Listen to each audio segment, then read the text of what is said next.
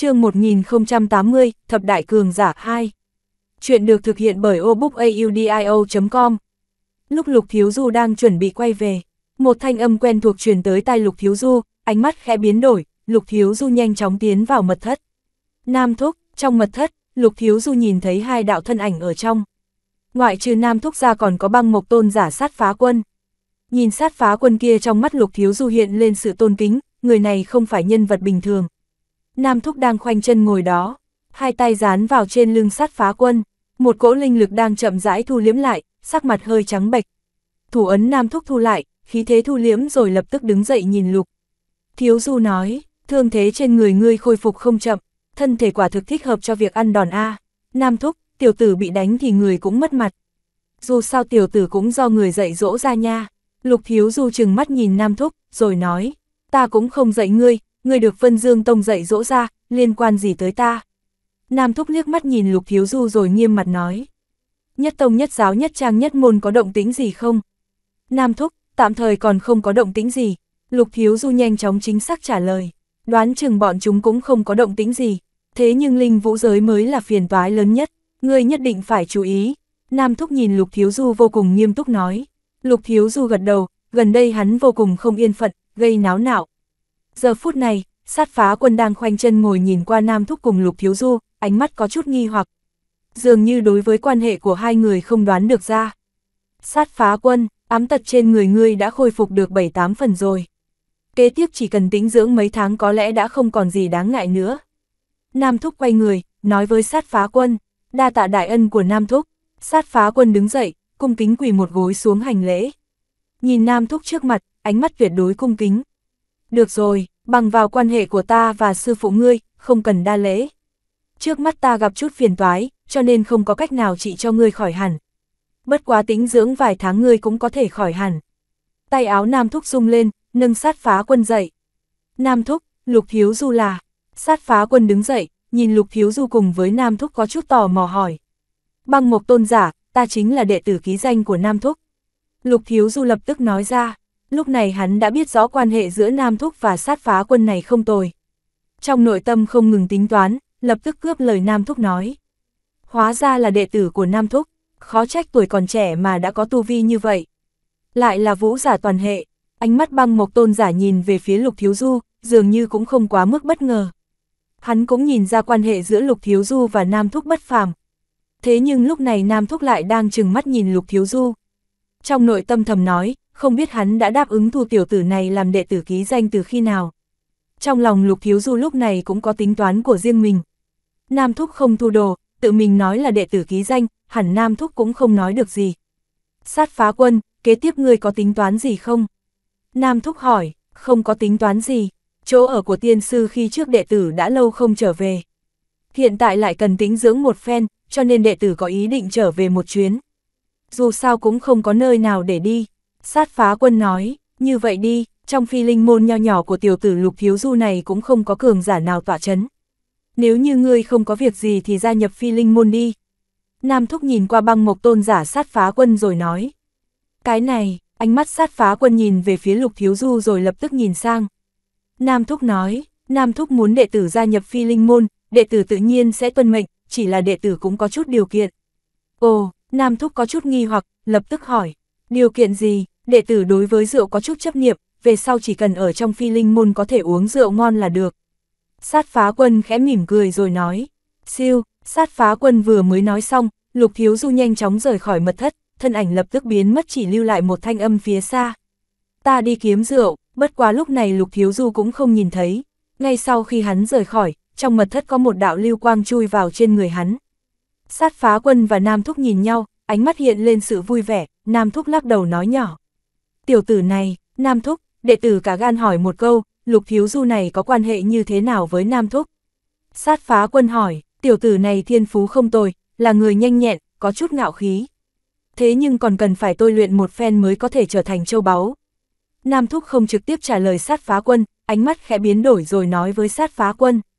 Không nghĩ tới nhanh như vậy ngươi đã đột phá tới vô tôn. 40 năm trước từ trong miệng sư phụ ngươi ta cũng chỉ biết hắn thu một người đệ tử. Về sau vận khí của sư phụ ngươi không được tốt lắm mà vẫn lạc. mà lúc đó thực lực của ta đã bị áp chế, cho nên cũng không có cách nào cứu sư phụ ngươi. Lại thêm một chút sự tình khác cho nên ta mới đi tới đại lục linh vũ. Lần này có thể gặp ngươi cũng coi như chút được một bầu tâm sự. Trước kia tiên sư thường nhắc tới nam thúc với đệ tử. Người thường nói lão nhân gia ngài là bằng hữu tốt nhất của người. Chỉ là không nghĩ tới hiện tại tiên sư đã vẫn lạc. Sát phá quân thở dài buồn bã nói, ngươi cũng không cần quá đau thương, có lẽ sư phụ ngươi còn có một cơ hội sinh tồn cũng không nhất định. Nam Thúc nhìn sát phá quân rồi nói, Nam Thúc, người nói thực sao? Sát phá quân lập tức mở to mắt rồi nhìn Nam Thúc nói. Ta cũng chỉ suy đoán như vậy mà thôi, dùng thực lực của sư phụ ngươi muốn vẫn là cũng không hề dễ dàng. Có lẽ thân thể đã vẫn lạc, thế nhưng chỉ cần hồn anh còn coi như là còn sống. Chờ sau khi ta khôi phục thực, lực, ta lại tìm cái mật địa kia một lần nữa. Có lẽ vẫn còn có cơ hội, thế nhưng cơ hội này rất xa vời. Nam Thúc nói, ba ngày sau, trên ngọn núi ở hậu sơn phi linh môn lúc này có một toàn đình viện tinh xảo được dựng lên. Mà ngọn sơn phong này cũng trở thành cấm địa của phi linh môn. Bất luận kẻ nào cũng không được đi vào bên trong, những kẻ cố tình đi vào giết không tha. Kỳ thật cả hậu sơn này toàn bộ đều là cấm địa của phi linh môn. Đệ tử căn bản không dám bước vào, cũng không thể tùy tiện ra vào. Băng mộc tôn giả tiền bối, người ở đây tính dưỡng đi, lúc này ở trong đình viện, Lục Thiếu Du đang cùng với băng mộc tôn giả sát phá quân ở bên trong. Lục Thiếu Du cũng phân phó đệ tử trong thời gian 3 ngày nhanh chóng tạo ra một chỗ tính dưỡng tốt nhất để cấp cho băng mộc tôn giả tính dưỡng. chương 1081, Nam Thúc đề nghị. Chuyện được thực hiện bởi obookaudio.com Ngươi là đệ tử Nam Thúc mà lại gọi ta là tiền bối, quả thực không hợp lẽ thường. Nếu như không chê ngươi kêu ta một tiếng sư huynh là được. Đối với nơi này sát phá quân cũng cực kỳ thỏa mãn, lập tức nói với Lục Thiếu Du. Bái kiến phá quân sư huynh, Lục Thiếu Du lập tức chắp tay hành lễ, trong nội tâm có cảm giác được sủng ái mà lo sợ. Nói giỡn sao, một cường giả vô tôn không chê mà gọi hắn là sư đệ, hắn nào có tư cách từ chối tiếp nhận một sư huynh vô tôn. Bản thân hắn lúc này chiếm tiện nghi vô cùng lớn a.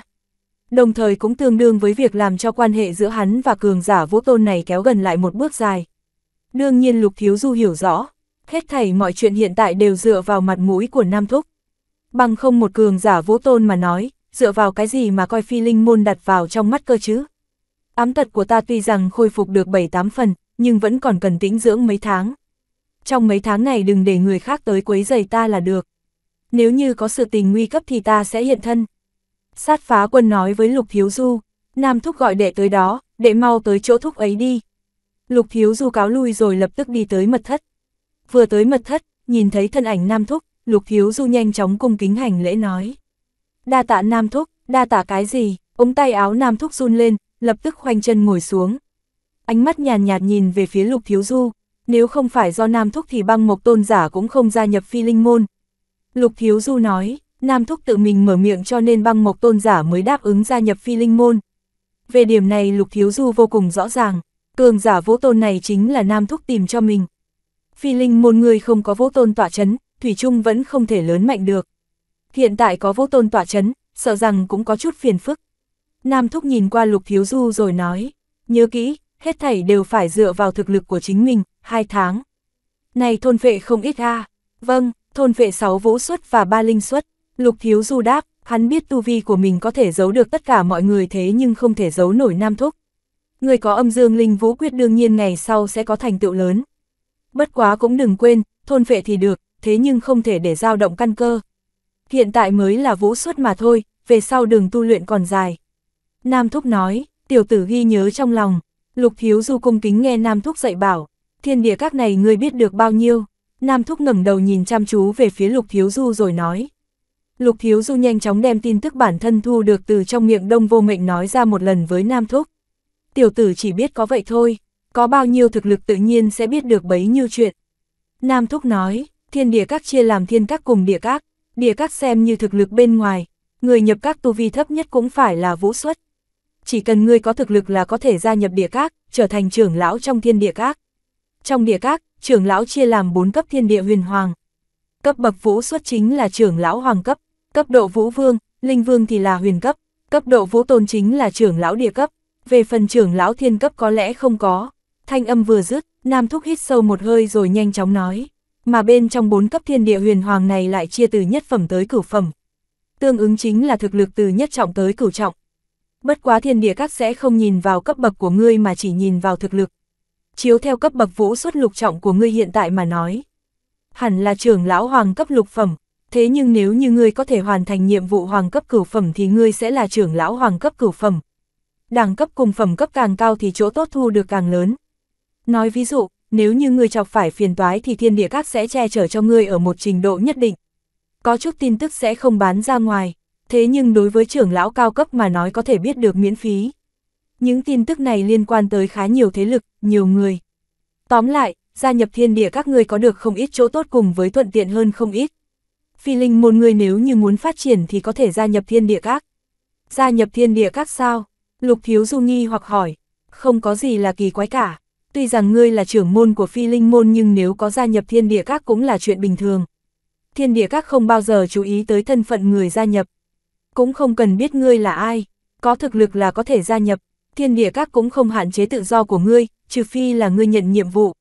Trước khi hoàn thành nhiệm vụ thiên địa các sẽ vô hình giám sát và điều khiển ngươi.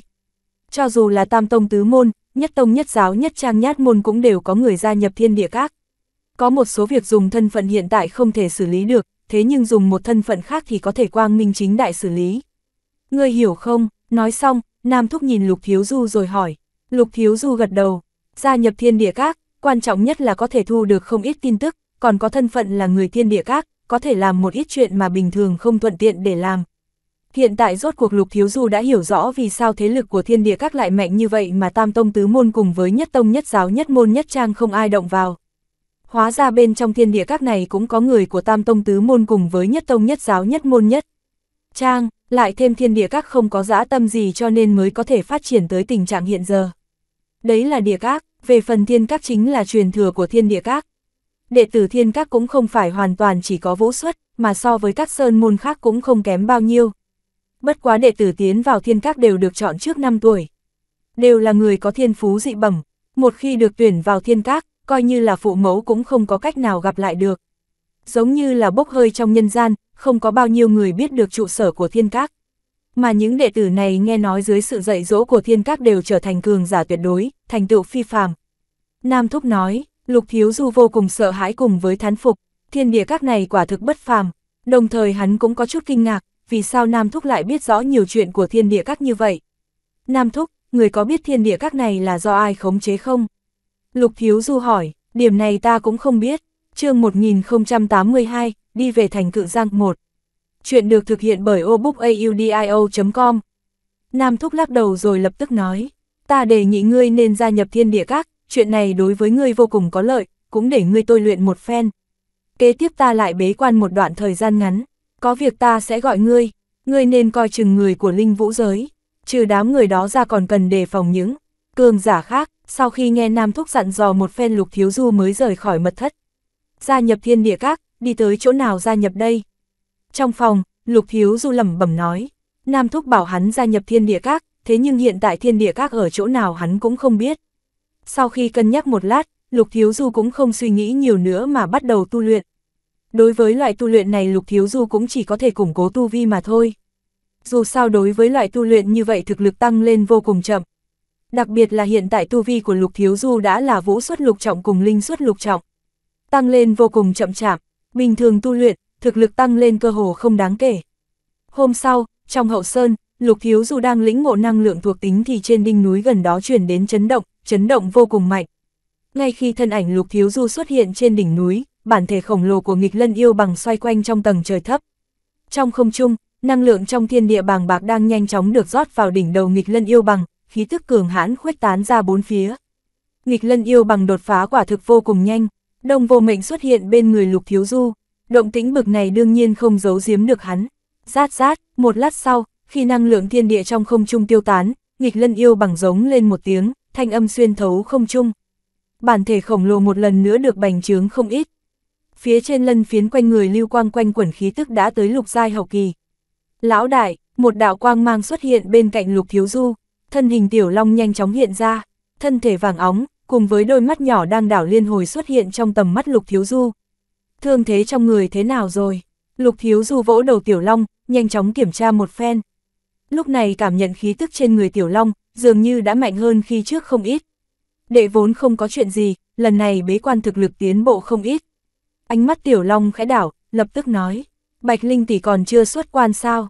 Chưa, Lục Thiếu Du lắc đầu, thương thế Bạch Linh rất nặng cho nên tới hiện tại còn chưa xuất quan.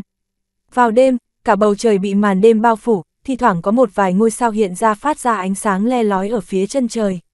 Trong hậu sơn, Lục Thiếu Du khoanh chân ngồi xuống, quanh thân được bao phủ bởi một vòng quang mang nhàn nhạt, nhạt, một cỗ năng lượng thuộc tính thổ bao phủ quanh người. Trầm ổn, liên miên, rộng lớn. Trong đầu Lục Thiếu Du lúc này đang chìm đắm bên trong lĩnh ngộ. Bên trong năng lượng thuộc tính thổ minh mông kia lúc này Lục Thiếu Du giống như một con cá nhỏ trong biển rộng, tùy ý bơi lượn, bản thân hắn lúc này có cảm giác vô cùng nhỏ bé.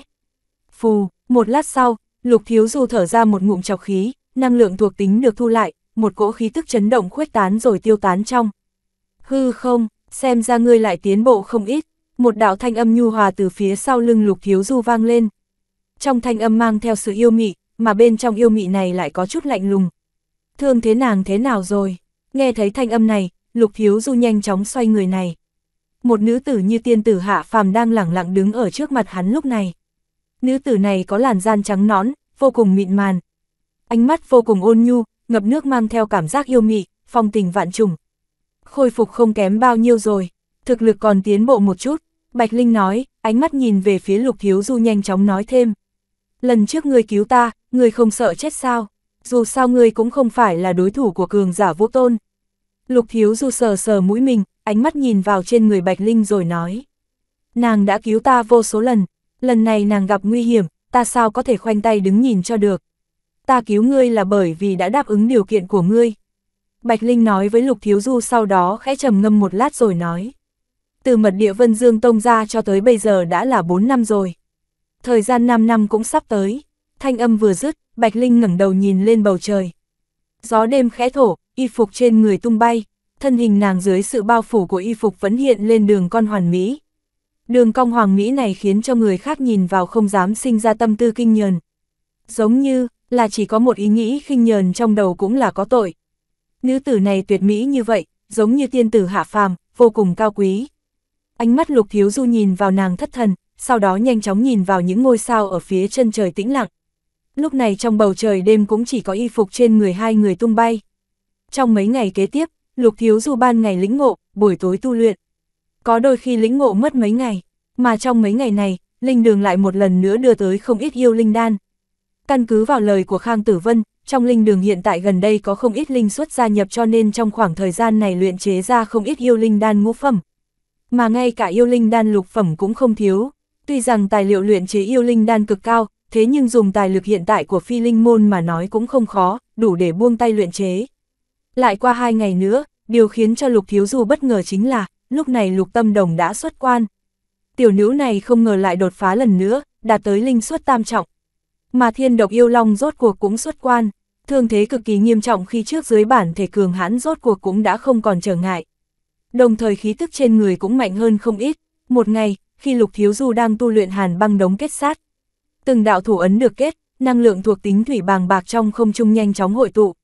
Nhiệt độ chung quanh lúc này bỗng nhiên lạnh lẽo, tới hiện tại mỗi lần thi triển lục thiếu du đều thất bại. Mỗi một lần thất bại chân khí trong cơ thể tán loạn, thân thể sẽ bị trùng kích. Trùng kích do tu luyện vũ kỹ huyền cấp cao dai không phải là thứ mà vũ xuất lục trọng có thể chống lại. Thế nhưng lúc này lục thiếu du đã sớm quen thuộc với nó. Mỗi một lần thất bại liền tiếp tục tu luyện, mà trong khi lục thiếu du tu luyện thì cả hậu sơn động nhiên truyền ra một cỗ năng lượng chấn động cực lớn.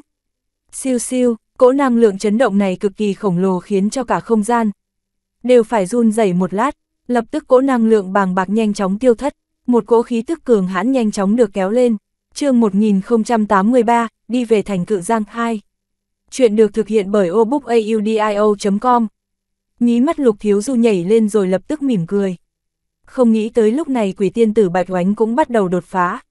Sau khi đột phá thì chính là Vũ Vương nhị trọng, trong đình viện ở Hậu Sơn, lúc này trong một căn phòng nhỏ, Lục Thiếu Du, Đông Vô Mệnh, quỷ tiên tử Bạch Oánh, Thanh Hỏa Lão Quỷ, Lưu Tinh Hà, Ngô Dũng đều có mặt. Sau khi mấy người nghe Lục Thiếu Du nói băng một tôn giả gia nhập phi linh môn, cả đám lập tức nhìn nhau vô cùng kinh ngạc. Sau đó vô cùng vui mừng, có cường giả vũ tôn tỏa chấn, thực lực phi linh môn tăng lên không chỉ một chút. Đông lão, Oánh tỷ, ta có ý định đi tới thiên địa các một chuyến. Lục Thiếu Du nói, Mọi người nhìn nhau, sau đó cả đám lập tức nhìn về phía Lục Thiếu Du vô cùng nghi hoặc. Ánh mắt quỷ tiên tử Bạch Oánh nhìn vào trên người Lục Thiếu Du rồi hỏi. Thiếu Du, chẳng lẽ người muốn gia nhập thiên địa các sao? Ta định đi xem xét trước, thế nhưng không biết thiên địa các ở nơi nào. Lục Thiếu Du nói, gia nhập thiên địa các cũng không sao, nhưng ngươi chính là trưởng, môn phi linh môn, sợ rằng cũng có nhiều bất tiện. Nếu như muốn gia nhập thiên địa các thì phải che giấu thân phận đi một chút. Quỷ tiên tử Bạch Oánh nói, trong lúc bất chi bất giác lúc này đã vào giữa hạ. Sáng sớm ánh mặt trời mang theo nhiệt độ nóng bỏng chiếu rọi mặt đất. Những cơn gió buổi sáng cũng mang theo một chút nhiệt khí. Ngày thứ ba, trong hậu sơn phi linh môn, thiên sĩ tuyết sư lập tức vỗ cánh bay lên rồi biến mất giữa không trung. Thành cự giang, đây chính là thành thị nằm ở phía tây cổ vực. Thành cự giang này có diện tích cực kỳ lớn, mà khoảng cách từ thành cự giang tới phi linh môn cũng không gần. Dùng tốc độ hiện tại của thiên sĩ tuyết sư mà nói, sợ rằng ít nhất cũng mất 2 tháng. Phía chân trời xa xa lúc này có một đạo quang mang màu trắng nhanh chóng xuyên qua tầng mây. Tốc độ này cực cao, yêu thú căn bản không thể lên tới độ cao này, cho nên người ở phía dưới cũng không thể nhìn thấy được. Lúc này trên lưng thiên sĩ tuyết sư cũng chỉ có ba đạo thân ảnh. Ngoại trừ lục thiếu du ra cũng chỉ có Bạch Linh cùng với Tiểu Long. Lần này đi tới thành cự giang lục thiếu du dự định chỉ đem theo Bạch Linh và Tiểu Long bên người. Mà thiên độc yêu long cùng với lục tâm đồng muốn đi theo cũng bị lục thiếu du ngăn cản. Nghịch lân yêu bằng cùng chúng yêu thú cũng được an bài ở trong phi linh môn tu luyện. Lần này tiến về thành cự giang là bởi vì từ trong miệng đông vô mệnh lục thiếu du biết được trong thành cự giang có thể tìm được thiên địa các. Lục thiếu du có ý định gia nhập thiên địa các kiến thức một phen đương nhiên hiểu rõ. Có thiên độc yêu long cùng mấy người lục tâm đồng và chúng yêu thú bên cạnh rất dễ làm bại lộ thân phận của hắn. Thiên sĩ tuyết sư xuyên qua tầng mây, trên thân hình khổng lồ hai cánh chấn động khiến cho không gian hơi vặn vẹo, không khí rít gào, tạo ra một đám thanh âm trầm thấp. Lúc này trên cánh thiên sĩ tuyết sư, lục thiếu du đang khoanh chân ngồi đó. Không khí rít gào cùng với cuồng phong gào thét bên cạnh lúc này không ảnh hưởng tới lục thiếu du chút nào, chỉ có áo bào xanh trên người hơi động một chút mà thôi. Quanh thân có một cỗ quang cháo vô hình bao phủ, lục thiếu du nhắm chặt hai mắt, tâm thần chìm đắm trong việc lĩnh ngộ thuộc tính phong. Quanh thân thể tràn ngập khí tức thuộc tính phong, trong không gian có một cỗ năng lượng thuộc tính phong quanh quẩn quanh lục thiếu du. Cứ như thế trong lĩnh ngộ lục thiếu du tiến vào một trạng thái huyền diệu. Lúc này tuy rằng lĩnh ngộ vô cùng chậm chạp, thế nhưng cũng có thể khiến cho lục thiếu du đạt được không ít chỗ tốt. Bạch Linh, Tiểu Long lúc này cũng đang tu luyện, hiện tại khoảng cách với thành cự giang cũng không gần, thời gian 2 tháng cũng không phải là ngắn. Trong lúc phi hành, lục thiếu du chìm đắm trong lĩnh ngộ thời gian trôi qua cực kỳ nhanh chóng. Chìm đắm trong lĩnh ngộ, trên lưng thiên sĩ tuyết sư hai mắt lục thiếu du nhắm lại, ngay cả hô hấp cũng trở nên chậm chạp. Thế nhưng quang cháo vô hình quanh thân lúc này lại trở nên chói mắt. Không khó có thể cảm nhận được, năng lượng thuộc tính phong quanh thân hắn lúc này đậm đặc hơn không ít. Trong một sơn mắc bao la, những ngọn núi liên miên không ngớt, dáng dấp cũng thay đổi thất thường, kéo dài xuyên qua sơn mạch. Phanh phanh, trong sơn mạch yên ả lúc này đột nhiên vang lên từng thanh âm bạo liệt. Trên không trung, trên lưng thiên sĩ tuyết sư lúc này thủ ấn lục thiếu du thu lại, khí tức thu liễm. Đôi mắt mở ra, tinh quang trong mắt chợt lóe. Có ba người đang giao thủ, đều là vũ xuất. Bạch Linh mở mắt, tâm thần tỏa ra bốn phía rồi nói. Chúng ta đi nhìn xem một chút, ánh mắt lục thiếu du khẽ đổi, sau khi do dự một chút rồi nói.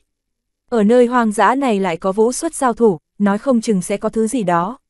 Thanh âm vừa dứt, lục thiếu du nhanh chóng móc ra một mặt nạ màu đen. Sau khi đeo chiếc mặt nạ vào cả khuôn mặt lục thiếu du lúc này chỉ có đôi mắt hiện ra, ngay cả mái tóc ngắn màu đen lúc này cũng được thay bằng mái tóc dài màu đen. Bộ dáng như thế, sợ rằng ngay cả người quen thuộc lục thiếu du muốn nhận ra hắn cũng vô cùng khó khăn. Người hóa trang cũng không tệ, sợ rằng rất khó có ai nhận được ra ngươi. Bạch Linh nói, ánh mắt có chút ngạc nhiên nhìn lục thiếu du. Lập tức trong tay nàng cũng xuất hiện một mặt nạ màu trắng. Trên mặt nạ có một đóa hoa sen, đeo mặt nạ vào lại càng khiến cho tư thái linh lung của nàng hiện lên vô cùng rõ ràng. Tiểu Long, Lục Thiếu Du đưa mắt mỉm cười Tiểu Long, đệ không thích như vậy nhất, Tiểu Long vô cùng bất đắc dĩ, lập tức thu nhỏ thân thể chui vào trong tay áo Lục Thiếu Du. Ai bảo đệ theo ta tới đây làm gì? Lục Thiếu Du vô ống tay áo của mình rồi mỉm cười. Tiểu Long hiện tại chính là bảng hiệu cho thân phận của hắn. Nếu như Tiểu Long hiện thân, có lẽ hắn muốn che giấu thế nào cũng vô dụng. Phanh phanh, trong sơn mạch, thanh âm bạo liệt vang lên vô cùng lớn. Giữa không trung lúc này có ba đạo thân ảnh đang chiến đấu kịch liệt. Ba người đều là vũ giả vũ xuất, hai người đang vây công một người, trình độ chiến đấu vô cùng kịch liệt. Khạc khạc, bạch dịch, giao ra chìa khóa kia, chúng ta có thể tha cho ngươi một mạng. Ba người một lần nữa tách ra, một đại hán mặc áo bào xám cùng một đại hán áo lam đem một nam tử trung niên có chút mập mạp vây vào giữa. Đừng hòng, ta đã nói cho các ngươi, chìa khóa hiện tại không nằm trên người ta. Nam tử trung niên nói, ánh mắt giờ phút này cực kỳ ngưng trọng. Đôi mắt không ngừng quét qua chung quanh, dường như đang tìm cơ hội chạy trốn. Bạch dịch, ngươi cho chúng ta là kẻ đần sao, vậy thì đem nhẫn chữ vật giao cho ta. Đại hàn áo bảo sám cười hắc hắc, vẻ diếu cợt trong mắt biến mất. Ánh mắt biến thành lạnh lẽo nhìn thẳng về phía nam tử trung niên kia. chương 1084, chìa khóa bí cảnh. Chuyện được thực hiện bởi obookaudio.com Ánh mắt nam tử trung niên âm trầm nhìn qua hai người. Hắn chẳng qua chỉ có tu vi vũ xuất nhị trọng mà thôi. Mà hai người bất tam bất tứ trước mặt đều là vũ xuất tam trọng. Chống lại một đã không dễ dàng rồi chứ đừng nói là hai, hắn càng thêm không phải là đối thủ. Bạch dịch, nếu như ngươi không giao ra thì chỉ có một con đường chết mà thôi. Đại hàn áo lam nói, triệu bất tứ, ta nói rồi, ta không có chìa khóa. Chìa khóa kia hiện tại không nằm trên người ta. Nam tử trung niên nói, ta đã cho ngươi cơ hội, thế nhưng ngươi lại không biết quý trọng, muốn chết, ánh mắt đại hán áo lam trầm xuống, thủ ấn được kết. Một đạo chân khí cường hãn đột nhiên từ trong cơ thể bạo phát ra. Lão tử liều mạng cùng các ngươi, ánh mắt nam tử trung niên trở nên âm trầm, có thể tu luyện tới vũ suất trong cổ vực thì không có ai là kẻ yếu. Cánh tay hắn vung lên, một thanh trường kiếm dài ba xích hiện lên trong tay. Kiếm quang bắn ra, lập tức va chạm cùng đạo chân khí kia. Phanh, thanh âm bạo liệt vang lên, chân khí tỏa ra bốn phía. Đại hàn áo lam vừa ra tay, đại hàn áo xám cũng lập tức công kích với nam tử trung niên kia. Bị hai người vây công, nam tử trung niên cũng nhanh chóng có hành động. Kiếm quang không ngừng tuôn ra, kiếm quang sắc bén khiến cho gợn sóng trong không gian trực tiếp khuếch tán. Phanh phanh, kinh khí cuồng bạo khiến cho những đỉnh núi phía dưới trực tiếp bị đổ vỡ, mặt đất dạn nứt. Mà lúc này, nam tử trung niên kia càng lúc càng khó chống đỡ được. Thực lực hai người đối phương đều mạnh hơn hắn, hắn tuyệt đối khó có thể chống lại. Một lát sau, sắc mặt hắn đã tái nhợt, hừ, lùi cho ta. Trong lúc giao thủ, đại hàn áo xám đang đứng trên bầu trời thừa cơ nam tử trung niên bị đại hàn áo lam đẩy lùi, một cỗ khí thế mạnh mẽ từ trong cơ thể hắn khuếch tán khiến cho sóng gợn trong không gian trực tiếp rung động. Ánh mắt lạnh lẽo, bàn chân mạnh mẽ đạp một cái, thân ảnh lập tức xuất hiện phía sau lưng nam tử trung niên kia. Ngay lúc đó, bàn tay đại hàn áo xám khẽ biến đổi, chân khí trong tay tuôn ra. Bàn tay giống như ưng chảo, vô cùng quỷ dị, cuối cùng năm ngón tay khẽ bắp lại, hung hăng vỗ vào lưng nam tử trung niên. Một cỗ chân khí cường hãn trực tiếp chút xuống. Phốc phốc, thân hình nam tử trung niên nhanh chóng lui lại, thân hình trên không trung lảo đảo lui về phía trước, há mồm phun ra một ngụm máu. Chết đi, đại hàn áo lam cười lạnh một tiếng, lúc này thân hình của hắn cũng như quỷ mị xuất hiện. Bàn tay dương lên, một cỗ chân khí nóng bỏng tuôn ra đem không gian chung quanh nhuộm thành màu đỏ. Một đạo chảo ấn trực tiếp được đánh về phía nam tử trung niên kia. Tốc độ quá nhanh, trong mắt nam tử trung niên hiện lên sự kinh hãi. Lúc này hắn đã cảm nhận được cảm giác sợ hãi trước tử vong. Khí tức cường hãn của một kích này hắn tuyệt đối không thể chống lại được. Siêu, đúng lúc này, trên không trung truyền đến một tiếng xé gió quỷ dị. Trong nháy mắt một đạo đao mang đột nhiên xuất hiện, đạo đao mang này xuất hiện khiến cho không gian chấn động. Kinh khí giết gào tạo thành thanh âm bạo liệt trong không gian. Đao mang mang theo một đám tàn ảnh cùng với uy thế kinh khủng, nương theo quang mang chói mắt cùng với tốc độ không thể tưởng tượng được lập tức đánh vào trên người đại hán áo lam kia. Siêu siêu, không có tiếng năng lượng bạo tạc, chỉ có thanh âm như cắt đứt vang lên. Trong ánh mắt hoảng sợ của đại hán áo lam, quanh cháo quanh người hắn lúc này bắt đầu dạn nứt. Một cỗ năng lượng mạnh mẽ khuếch tán khiến cho không gian chung quanh bắt đầu vặn vẹp. Lúc này thân hình đại hàn áo, lam trực tiếp bị chém thành hai nửa, máu tươi rơi vãi xuống phía dưới. Tiếp theo trong nháy mắt có hai đạo thân ảnh đột nhiên xuất hiện. Hai đạo thân ảnh này là một nam một nữ, nam dáng người cao ngất, có mái tóc dài màu đen cùng với áo choàng sau lưng. Nữ tư thái linh lung, mà hai người lúc này đều mang theo mặt nạ, không nhìn thấy rõ mặt. Các hạ là người phương nào? Đại hàn áo xám lúc này kinh hãi, ánh mắt nhìn vào hai đạo thân ảnh thần bí đột nhiên xuất hiện, vẻ mặt đại biến. Siêu, trong không gian, một cỗ chấn động vô hình đột nhiên xuất hiện. Trong mắt nam tử đeo mặt nạ kia có một ánh mắt kỳ dị hiện lên. Lúc này, đại hàn áo bảo xám vừa nói nói xong toàn thân lập tức run lên, ánh mắt trở nên ngây ngốc, dường như thất thần. Chết đi, một thanh âm trầm thấp, khàn khàn vang lên, thân ảnh nam tử đeo mặt nạ kia trong nháy mắt đi tới trước người đại hàn áo xám, một đạo chảo ấn trực tiếp đặt trên đỉnh đầu hắn. A, Một tiếng hét thảm vang lên, một lát sau, thân hình của đại hàn áo xám trong nháy mắt biến thành một cỗ thây khô. Mà trong tay nam tử đeo mặt nạ có một cỗ linh hỏa được ngưng tụ, nhanh chóng đem vũ suất tam trọng này đốt thành cho bụi. Đa tạ ân cứu mạng của đại nhân, ánh mắt nam tử trung niên vô cùng kinh hãi. Một nam một nữ đột nhiên xuất hiện này không ngờ là linh suất cao cấp. Thực lực ít nhất cũng tới linh suất ngũ trọng hoặc là linh suất lục trọng. Mà cảnh tượng trước mắt cũng khiến cho tâm can hắn rung động mãnh liệt. Không cần nhiều lời, giao chìa khóa kia ra. Nam tử đeo mặt nạ nhàn nhạt nói với nam tử trung niên. Đại nhân, chìa khóa gì, ta không biết đại nhân đang nói gì. Ánh mắt nam tử trung niên nhìn về phía nam tử đeo mặt nạ, sắc mặt đại biến. Thế nhưng ngay lập tức toàn thân run lên, hai mắt ngây ngốc. Có hay không ta tự mình tìm, nam tử đeo mặt tả khàn khàn nói xong, thân thể kéo theo một đán tàn ảnh, lập tức xuất hiện trước người nam tử trung niên, tay khẽ bóp một cái, một đạo chảo ấn trực tiếp đặt vào đỉnh đầu nam tử trung niên kia. Trong lúc mơ hồ có thể thấy được, trên chảo ấn có một vòng xoáy xuất hiện. Một lát sau, nam tử trung niên này cũng nhanh chóng hóa thành cho tàn.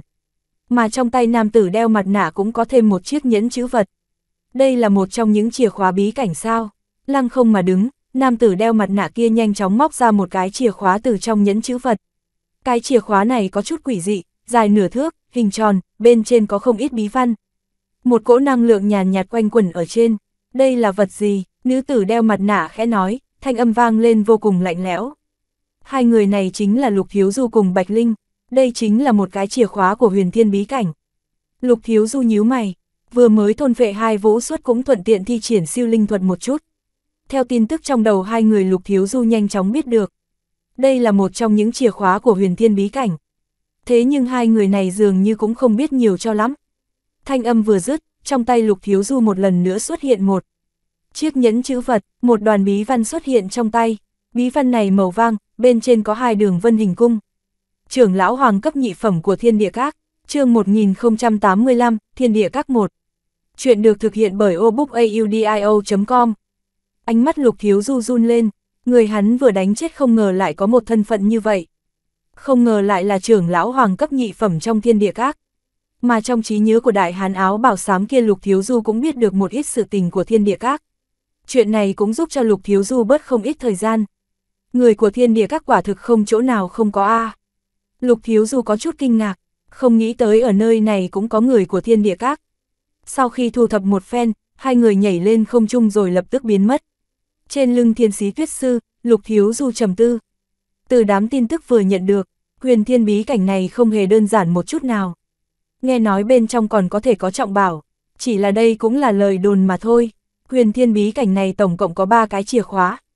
Chỉ có tìm được ba cái chìa khóa mới có thể mở ra huyền thiên bí cảnh. Thu hồi chìa khóa bằng ngọc thần bí này, Lục Thiếu Du cũng thật không ngờ trên đường lại có thể gặp phải chuyện này. Thế nhưng hai người vừa rồi cũng không hiểu được bao nhiêu về huyền thiên bí cảnh, hắn lại càng không hiểu chút nào. Xem ra phải đi nghe ngóng tin tức về huyền thiên bí cảnh một chút mới được. Mà từ tin tức trong linh hồn hai người này chỉ cần một tuần nữa là có thể tới thành cự giang. Bên trong thành cự giang có thiên địa các, nếu muốn gia nhập thiên địa các thì cũng chỉ có thể tới thành cự giang mà thôi. Thành cự giang là một địa phương vô cùng kỳ lạ trong cổ vực. Đây là một đại thành cực kỳ lớn, số lượng người bên trong rất là nhiều. Đủ để so sánh với bất luận một đại thành nào trong cổ vực. Thế nhưng thành cự giang này lại không thuộc quản lý của thế lực nào. Thành cự giang này không thuộc về bất cứ thế lực nào, nhưng ở đây lại vô cùng phồn hoa và náo nhiệt khiến cho bất kỳ thế lực nào đều đỏ mắt. Nơi này vô cùng hỗn loạn, nhưng lại có một điều kỳ quái chính là, tất cả thế lực bên ngoài không dám động vào thành cự giang. Truyền rằng ngày trước từng có thế lực nhìn thấy thành cự giang vô chủ, lại cực kỳ phồn hoa cho nên muốn thu phục thành cự giang. Kết quả, thế lực nhất lưu này bị diệt, hơn nữa chỉ trong một đêm mà thôi. Chuyện này cũng không biết là người phương nào gây nên, từ đó về sau, không có bất kỳ một thế lực nào dám nhúng tay vào thành cự giang. Bất quá bên trong thành cự giang cực kỳ hỗn loạn, ở đây khi thiện sợ ác, lấy mạnh hiếp yếu là chuyện bình thường, nói tóm lại những chuyện ở nơi khác ngươi không thể gặp phải thì bên trong này đều có. Ở nơi này mọi chuyện đều dựa vào thực lực mà nói chuyện. Không có đúng sai, toàn bộ đều phải dựa vào thực lực của mình mà chứng minh đúng sai. Mà trừ hỗn loạn ra, bên trong cũng là thiên đường của tán tu. Cơ hồ không có tán tu nào không biết tới thành cự giang. Nơi này chính là địa phương tán tu tụ tập, trong thành, nếu tính toán thì số lượng vô cùng lớn, không chỉ có ngàn vạn căn cứ theo lời tán tu bên ngoài nói, trong thành cự giang này còn có một chỗ hấp dẫn khác. Đây chính là địa phương thủ tiêu tang vật tốt nhất trên toàn bộ đại lục. Mặc kệ là bảo vật ngươi lấy từ đâu, mặc kệ ngươi trộm, hay đoạt, đều có thể tự do lấy ra trong thành cự giang. Cho dù là ngươi trộm bên trong tam tông tứ môn hay là nhất tông nhất giáo nhất trang nhất môn đều có thể ở bên trong này lấy ra bảo vật. Không có ai quản ngươi, đồ vật chỉ cần tiến vào trong thành cự giang, trừ phi là ngươi bán đi, nếu không cũng không ai lấy, cũng không ai dám đoạt. Tất cả các thế lực có đôi khi sẽ bán ra một ít linh kỹ cùng với vũ kỹ. Đồ vật bên trong này cũng chỉ có thể dùng tiền mua về, bằng không sẽ bị người khác mua mất. Trong thành cự giang, thứ cuối cùng hấp dẫn người ta nhất chính là nơi này có một phách mại tràng lớn nhất đại lục. Tất cả mọi người có thể tiến vào bên trong giao dịch bảo vật. Ví dụ như một vũ giả thủy hệ có một bộ vũ kỹ huyền cấp sơ giai hỏa hệ có thể tới trong thành cự giang này giao dịch. Tìm kiếm một người giống mình, đổi lấy một bộ vũ kỹ huyền cấp sơ giai thủy hệ. Đây là đổi, không phải mua bán. Từ mức độ nào mà nói, hai người đều không thiệt thòi. Mà có chút bảo vật, vốn cũng không phải là thứ mà kim tệ có thể so sánh. Cho nên cũng chỉ có giao dịch như vậy mà thôi. Thế nhưng loại này không phải là mua bán, mà chỉ là lấy vật đổi vật. Nhìn chúng thì đổi, ai cũng không thiệt thòi. Chỉ cần bản thân thỏa mãn là được. Cho nên nơi này cũng hấp dẫn không ít cường giả đến đây siêu tầm bảo vật. Bảo vật trong này vượt quá tưởng tượng của mọi người. Có bảo vật đôi khi không tìm thấy ở bên ngoài, thế nhưng ở chỗ này nói không chừng chỉ đơn giản cũng có thể gặp được. Đương nhiên cũng có không ít người không tiện lộ diện trong thành cự giang nếu muốn tiến vào thì phải cải trang một chút. Thành cự giang tọa lạc ở trong một sơn mạch rộng lớn, diện tích chắc quanh khổng lồ. Yêu thú trong sơn mạch thường xuyên xuất hiện, mà trong thành cự giang, dòng người trên đường vô cùng nhộn nhịp. Trong dòng người hối hả có không ít người mặc trang phục kỳ quái, thế nhưng cũng không ai để ý tới chuyện này, bởi vì mọi người trong thành cự giang cũng đã sớm quen thuộc. Trong thành cự giang, có không ít người mang áo choàng, đeo mặt nạ, hoặc là cải trang. Chuyện này trong thành cự giang cũng cực kỳ bình thường. Lúc này hai người Lục Thiếu Du và Bạch Linh cũng đang đi trên đường. Phố, nhìn thấy trên đường cũng có không ít người mặc trang phục kỳ lạ. Đeo mặt nạ cùng với áo choàng khiến cho hai người kinh ngạc. Vốn Lục, Thiếu Du còn tưởng mình mang áo choàng cùng với mặt nạ sẽ khiến cho. Không ít người chú ý, hiện tại xem ra hắn đã quá ảo tưởng. Nhìn dòng người nhộn nhịp trên đường phố, Lục Thiếu Du nhanh chóng đánh giá mấy người mặc áo choàng, đeo mặt nạ kia dường như cũng không muốn người khác chú ý, không muốn lộ diện ra bên ngoài, nhất định là người có thân phận không tiện tiết lộ cho mọi người biết. Hai người đi dạo trong thành cự giang một lúc lâu, thế nhưng thành cự giang này quá lớn, khắp nơi đều là dòng người nhộn nhịp, cực kỳ náo nhiệt. Hai bên đường có không ít cửa hàng, có đủ loại cửa hàng. Bất quá đại bộ phận đều là cửa hàng mua bán của tu luyện giả. Lục Thiếu Du nhanh chóng đi vào một cửa hàng có tên là Vạn Dược Môn. Diện tích không lớn, trong này bày rất nhiều vật dụng tu luyện. Đan dược cùng vũ kỹ, binh khí, dược liệu đều có. Toàn bộ đều có giá trị xa xỉ, mà ngay cả vũ kỹ huyền cấp sơ giai trong này cũng có, quả thực khiến cho Lục Thiếu Du mở rộng tầm mắt. Trong cửa hàng, còn có vài dược liệu hy hữu khiến cho Lục Thiếu Du chú. Dược liệu này vô cùng khó gặp, giá trị xa xỉ. Lục Thiếu Du không chút do dự lập tức mua lại, mua mấy loại dược liệu này khiến cho Lục Thiếu Du tiêu tốn mấy trăm vạn kim tệ. chương 1086, Thiên địa các hai. Chuyện được thực hiện bởi obookaudio.com. Thế nhưng đối với hắn mà nói không đắt chút nào, rất đáng giá. Những dược liệu này đều là dược liệu phụ trợ cần thiết để luyện chế đan dược lục phẩm. Về sau còn có lúc phải dùng gấp, khi đó muốn tìm những dược liệu này quả thực không phải dễ dàng. Trong thành cự giang, tại một quảng trường không nhỏ có một đình viện, khá lớn, trước cửa có hai người đứng gác. Hai người này tuy rằng chỉ là thủ vệ thế nhưng nhìn qua cực kỳ nhanh nhẹn. Hai người này tuổi chừng 25, thế nhưng Tu Vi đã là vũ phách nhất trọng. Hai vị, xin hỏi hai vị tới đây là có chuyện gì? Lúc Lục Thiếu Du cùng Bạch Linh đi tới quảng trường, hai thanh niên này lập tức chạy tới, ánh mắt đảo qua hai người rồi nói. Thiên địa huyền hoàng, địa các vô song, Lục Thiếu Du đưa mắt nhìn hai người rồi mở miệng nói. Hai vị mời đi theo ta. Một thanh niên nghe thấy lời nói của Lục Thiếu Du cũng không cảm thấy kinh ngạc chút nào. Cũng không nhiều lời, lập tức mời Lục Thiếu Du cùng Bạch Linh tiến vào trong đình viện. Trong đình viện, so với trong tưởng tượng của Lục Thiếu Du còn lớn hơn một chút. Sau khi xuyên qua mấy hành lang, tới bên ngoài một gian phòng yên tĩnh, thanh niên này khẽ mở miệng nói. Trưởng lão, vào đi, trong phòng lúc này có một thanh âm của nữ nhân vang lên. Nghe thanh âm này, dường như trong đó là nữ tử, tuyệt đối là mỹ nữ. Hai vị vào đi, thanh niên này nói với hai người Lục Thiếu Du xong rồi lập tức rời đi. Lục Thiếu Du cùng Bạch Linh nhìn nhau rồi lập tức đẩy cửa tiến vào trong phòng. Trong tầm mắt của hai người Lục Thiếu Du lúc này là một đại sảnh, bên trong có một nữ tử tư thái mê người đang ngồi đó.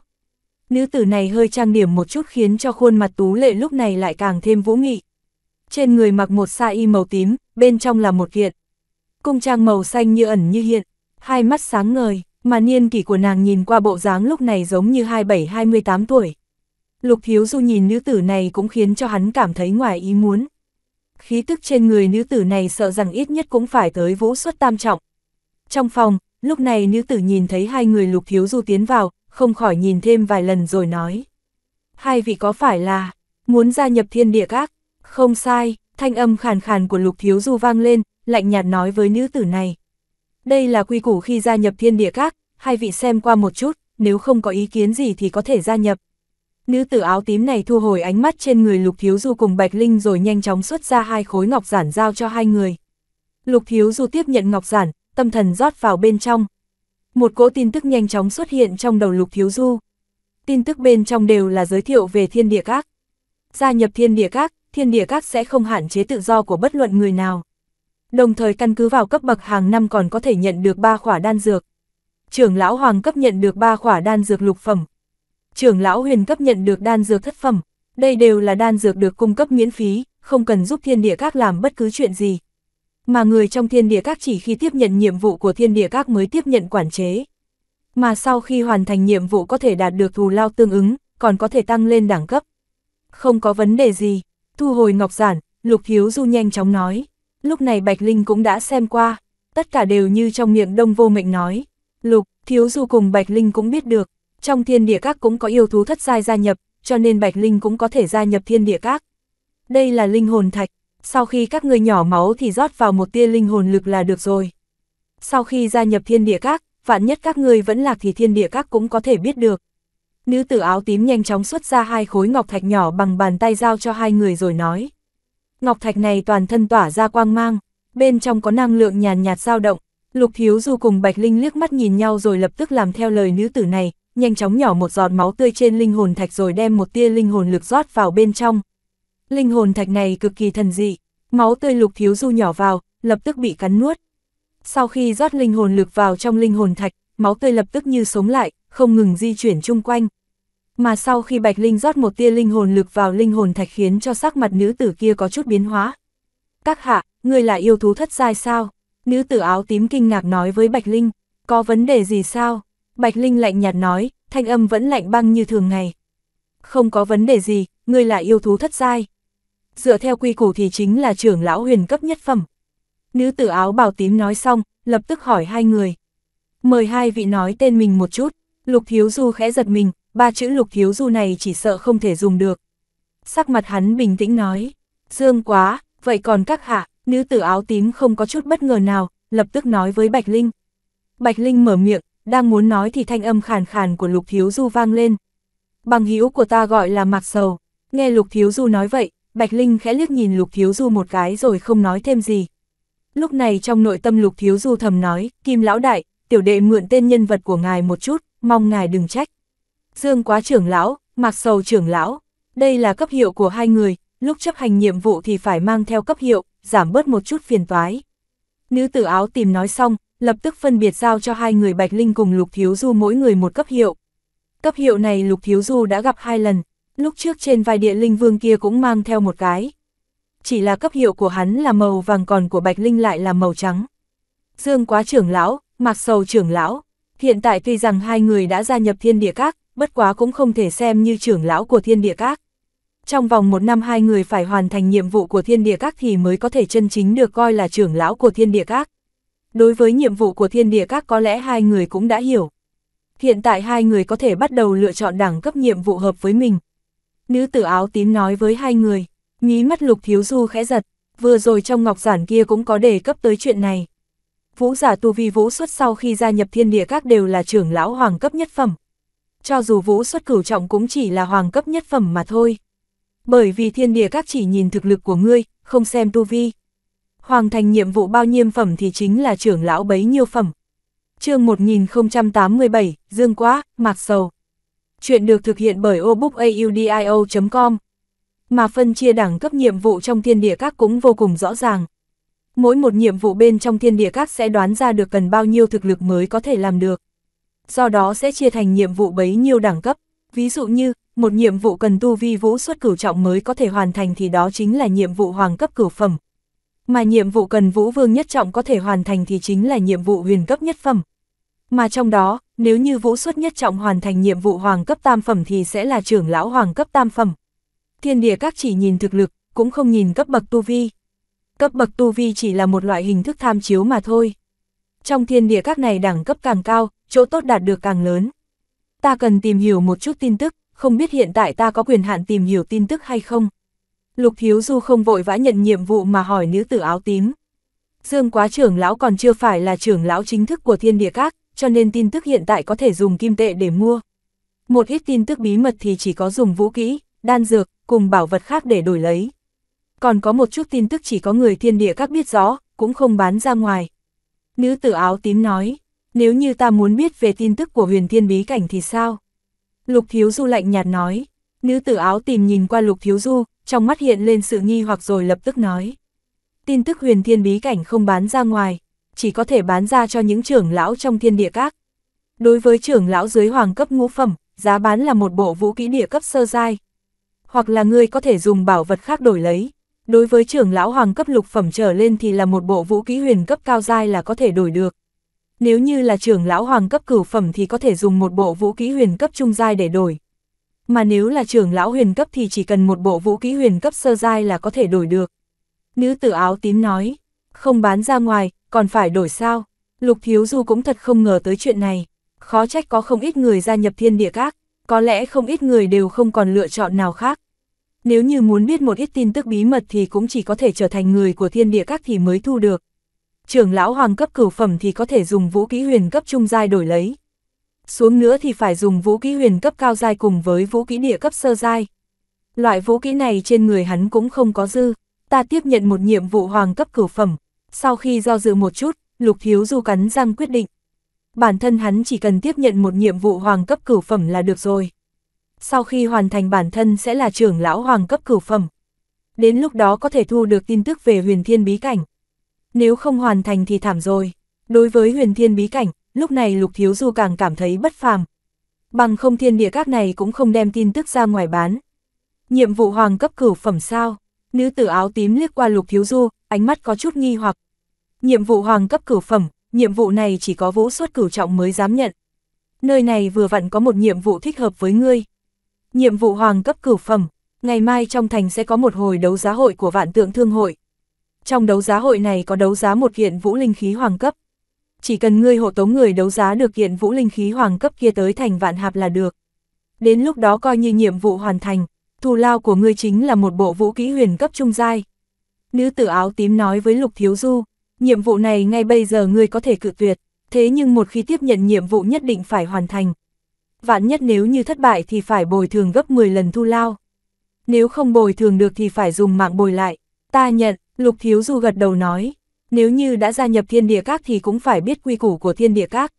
Mà thù lao này, một bộ vũ kỹ huyền cấp trung dài cũng có giá trị cực cao. Đối với tán tu mà nói, cho dù là vũ xuất cửu trọng cũng tuyệt đối là thù lao xa xỉ. Lúc trước thanh hỏa lão quỷ cùng với Lộc Sơn lão nhân có tu vi vũ xuất bát trọng nhìn thấy vũ kỹ huyền cấp sơ giai trên chấn hoa môn cũng phải đỏ mắt. Bất quá lúc này lục thiếu du cũng chỉ có thể cười khổ. Nếu như hắn hoàn thành nhiệm vụ thì thù lao cũng chỉ đủ để mua tin tức của huyền thiên bí cảnh mà thôi. Tính đi tính lại, vẫn là thiên địa các này có lợi. Vậy được rồi, từ giờ trở đi, cho tới khi nhiệm vụ hoàn thành, người tùy thời có khả năng bị người của thiên địa các giám sát hoàn thành. Nếu, nhiệm vụ có gì thay đổi tự nhiên sẽ có người thông chi cho ngươi. Sau khi Dương Quá Đạo Hữu hoàn thành nhiệm vụ thì sẽ chính thức là trưởng lão hoàng cấp cửu phẩm của thiên địa các. Nữ tử áo tím nói xong lập tức quay về phía Bạch Linh, thanh âm có chút tôn kính nói. Mạc sầu trưởng lão, người có thể lựa chọn nhiệm vụ, nếu không lựa chọn nhiệm vụ mà nói thì người cũng không tính là trưởng lão huyền cấp nhất phẩm, mà chỉ có quyền hạn của trưởng lão hoàng cấp nhất phẩm mà thôi. Ta hiểu dỗi, trước tiên ta không có ý định nhận nhiệm vụ, Bạch Linh nói nhỏ, ánh mắt lục thiếu du ngạc nhiên, thực lực mạnh mẽ đãi ngộ quả thực không giống bình thường. Bằng vào thân phận yêu thú thất giai của Bạch Linh không ngờ không cần nhận nhiệm vụ cũng có thể trở thành trưởng lão của địa các. Chỉ là đãi ngộ kém với tu vi một cấp mà thôi. Đáng tiếc chỉ là hoàng cấp nhất phẩm, bằng không thì có thể dùng thân phận của Bạch Linh biết được tin tức huyền thiên bí cảnh kia. Đây là ba khỏa đan dược lục phẩm sơ giai dưỡng khí đan. Xin mạc sầu trưởng lão nhận lấy, hiện tại người chính là trưởng lão hoàng cấp nhất phẩm của địa các. Nữ tử áo tím nhanh chóng xuất ra ba khỏa đan dược tràn ngập năng lượng giao cho Bạch Linh. Bạch Linh cũng không khách khí, lập tức thu vào trong tay. Điều này khiến cho Lục Thiếu Du vô cùng phiền muộn, bản thân hắn ngay cả đãi ngộ này cũng không có. Trong nội tâm Lục Thiếu Du lúc này đối với thiên địa các càng thêm hiếu kỳ. Thiên địa các này đúng là tài đại khí thô A, ba khỏa đan dược lục phẩm, giá trị cũng không nhỏ.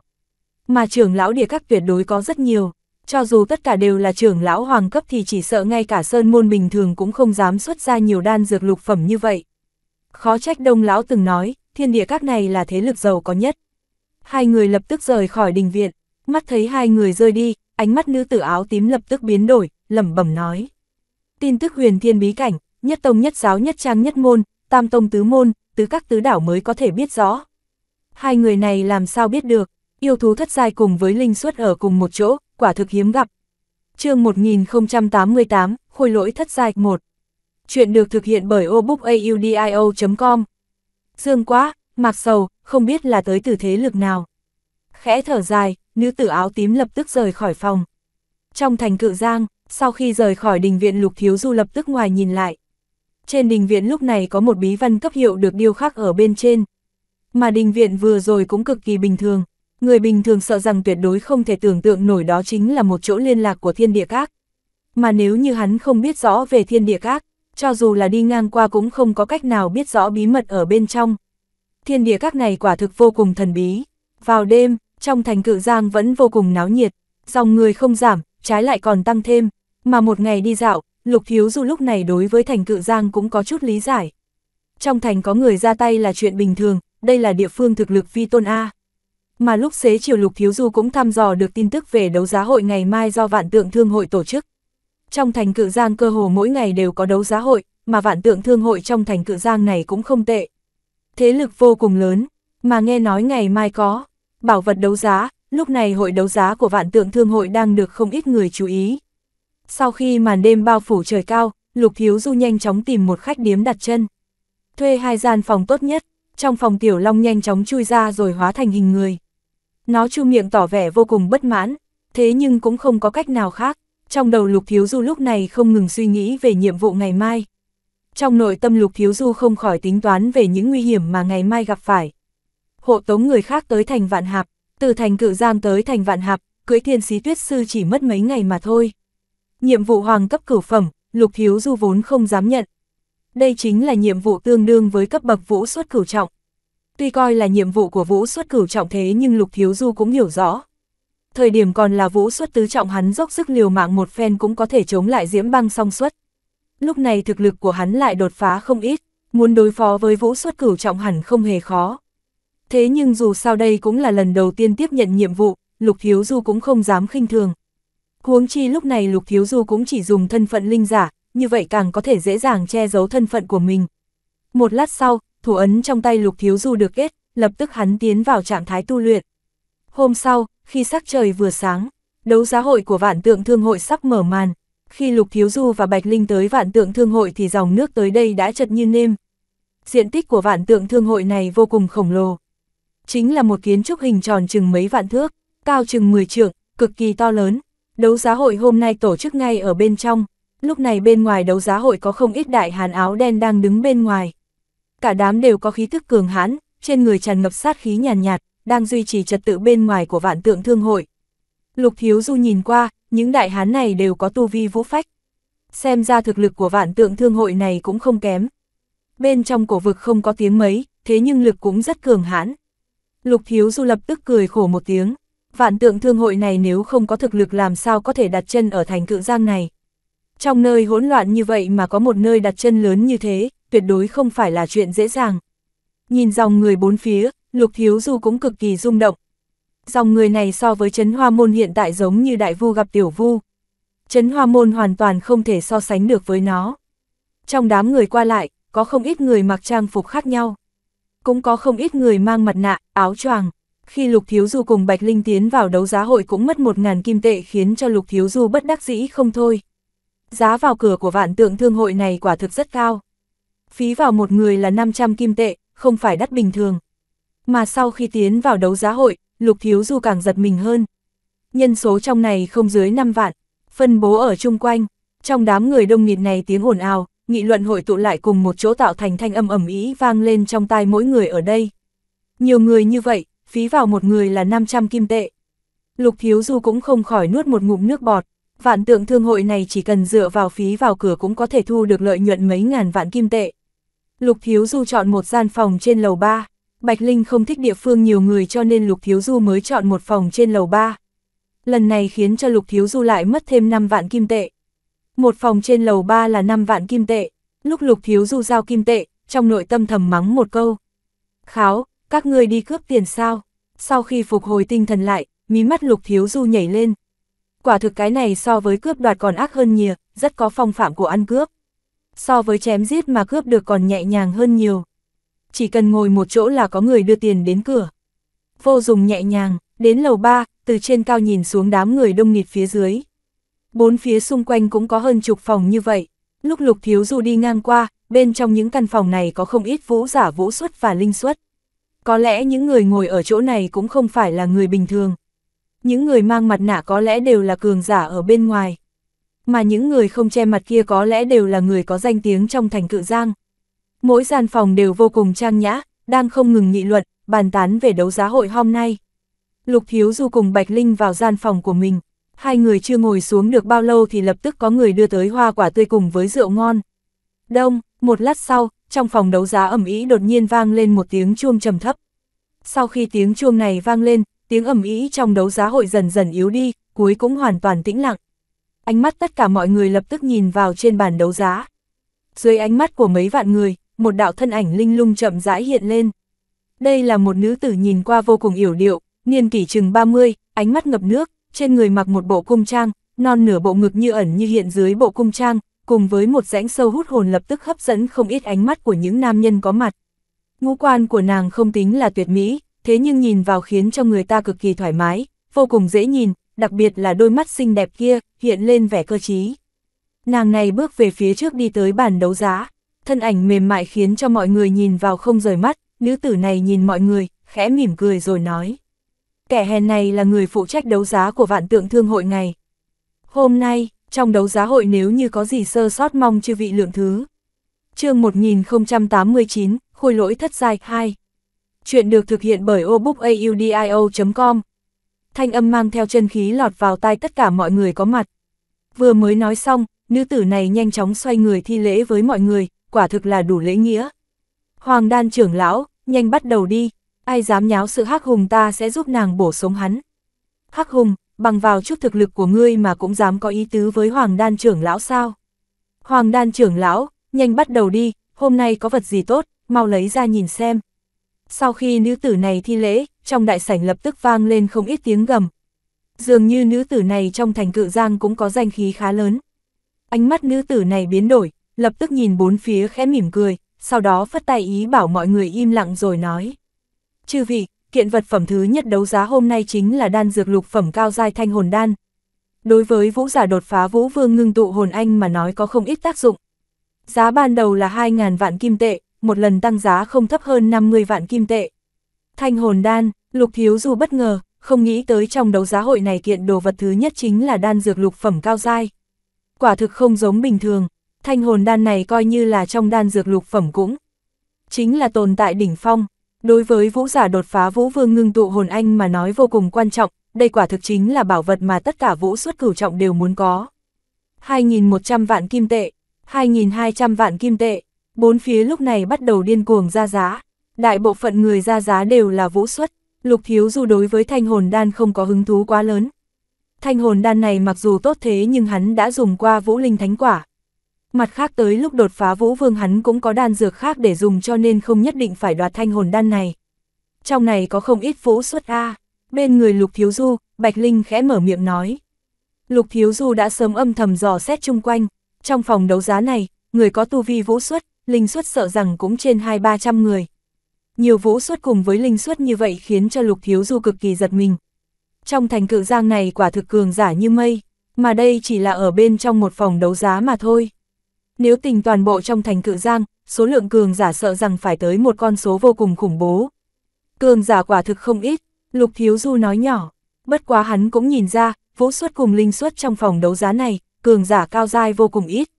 Lần này lại phiền nàng theo ta, đa tạ. Lục Thiếu Du đột nhiên quay đầu nói với Bạch Linh đang đeo mặt nạ màu trắng. Đây là điều kiện mà ta từng đáp ứng ngươi. Bạch Linh khẽ nói, khuôn mặt mang theo mặt nạ cho nên không nhìn thấy biểu hiện.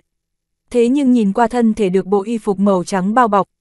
Cùng đôi ngọc thỏ kia khiến cho Lục Thiếu Du không nhịn được mà có xung động muốn nhào vào trong đó. Nhưng Lục Thiếu Du rất sáng suốt khắc chế loại xung động này. Dùng tính tình của Bạch Linh mà nói, nếu như hắn làm như vậy có lẽ nàng sẽ nuốt sống hắn. Ta vẫn phải đa tạ nàng, Lục Thiếu Du nói, ánh mắt Bạch Linh khẽ đổi, nhìn Lục Thiếu Du, đối với thanh âm ẩm ý trong phòng đấu giá, hai người dường như đều bỏ qua ngoài tai, cũng không có hứng thú. Ánh mắt hai người vừa chạm vào nhau lập tức phân ra, mang theo một chút khác thường. Chừng nào thì ngươi trở lại Vân Dương Tông, nếu không quay về chỉ sợ Hồng Lăng và vô song sẽ tính sổ với ngươi. Trong lúc bối rối, Bạch Linh nhanh chóng tìm được chủ đề. Đợi có thời gian thì trở về đi, gần đây đều bận rộn, ánh mắt Lục Thiếu Du khẽ đổi rồi nói.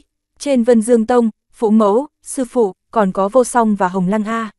Hơn hai năm không gặp, trong nội tâm hắn vô cùng nhung nhớ, thế nhưng Lục Thiếu Du cũng hiểu rõ, hiện tại thân nhân của mình ở Vân Dương Tông không thể nghi ngờ là tốt nhất. Cũng khiến cho hắn an tâm nhất, dùng thực lực Vân Dương Tông hiện tại, cho dù là linh vũ giới cũng không dám đi trêu chọc. Sự tình ngươi cùng Tiểu Linh, chẳng lẽ không sợ Hồng Lăng ăn dấm sao? Bạch Linh nói, trong giọng nói mang theo sự vui vẻ.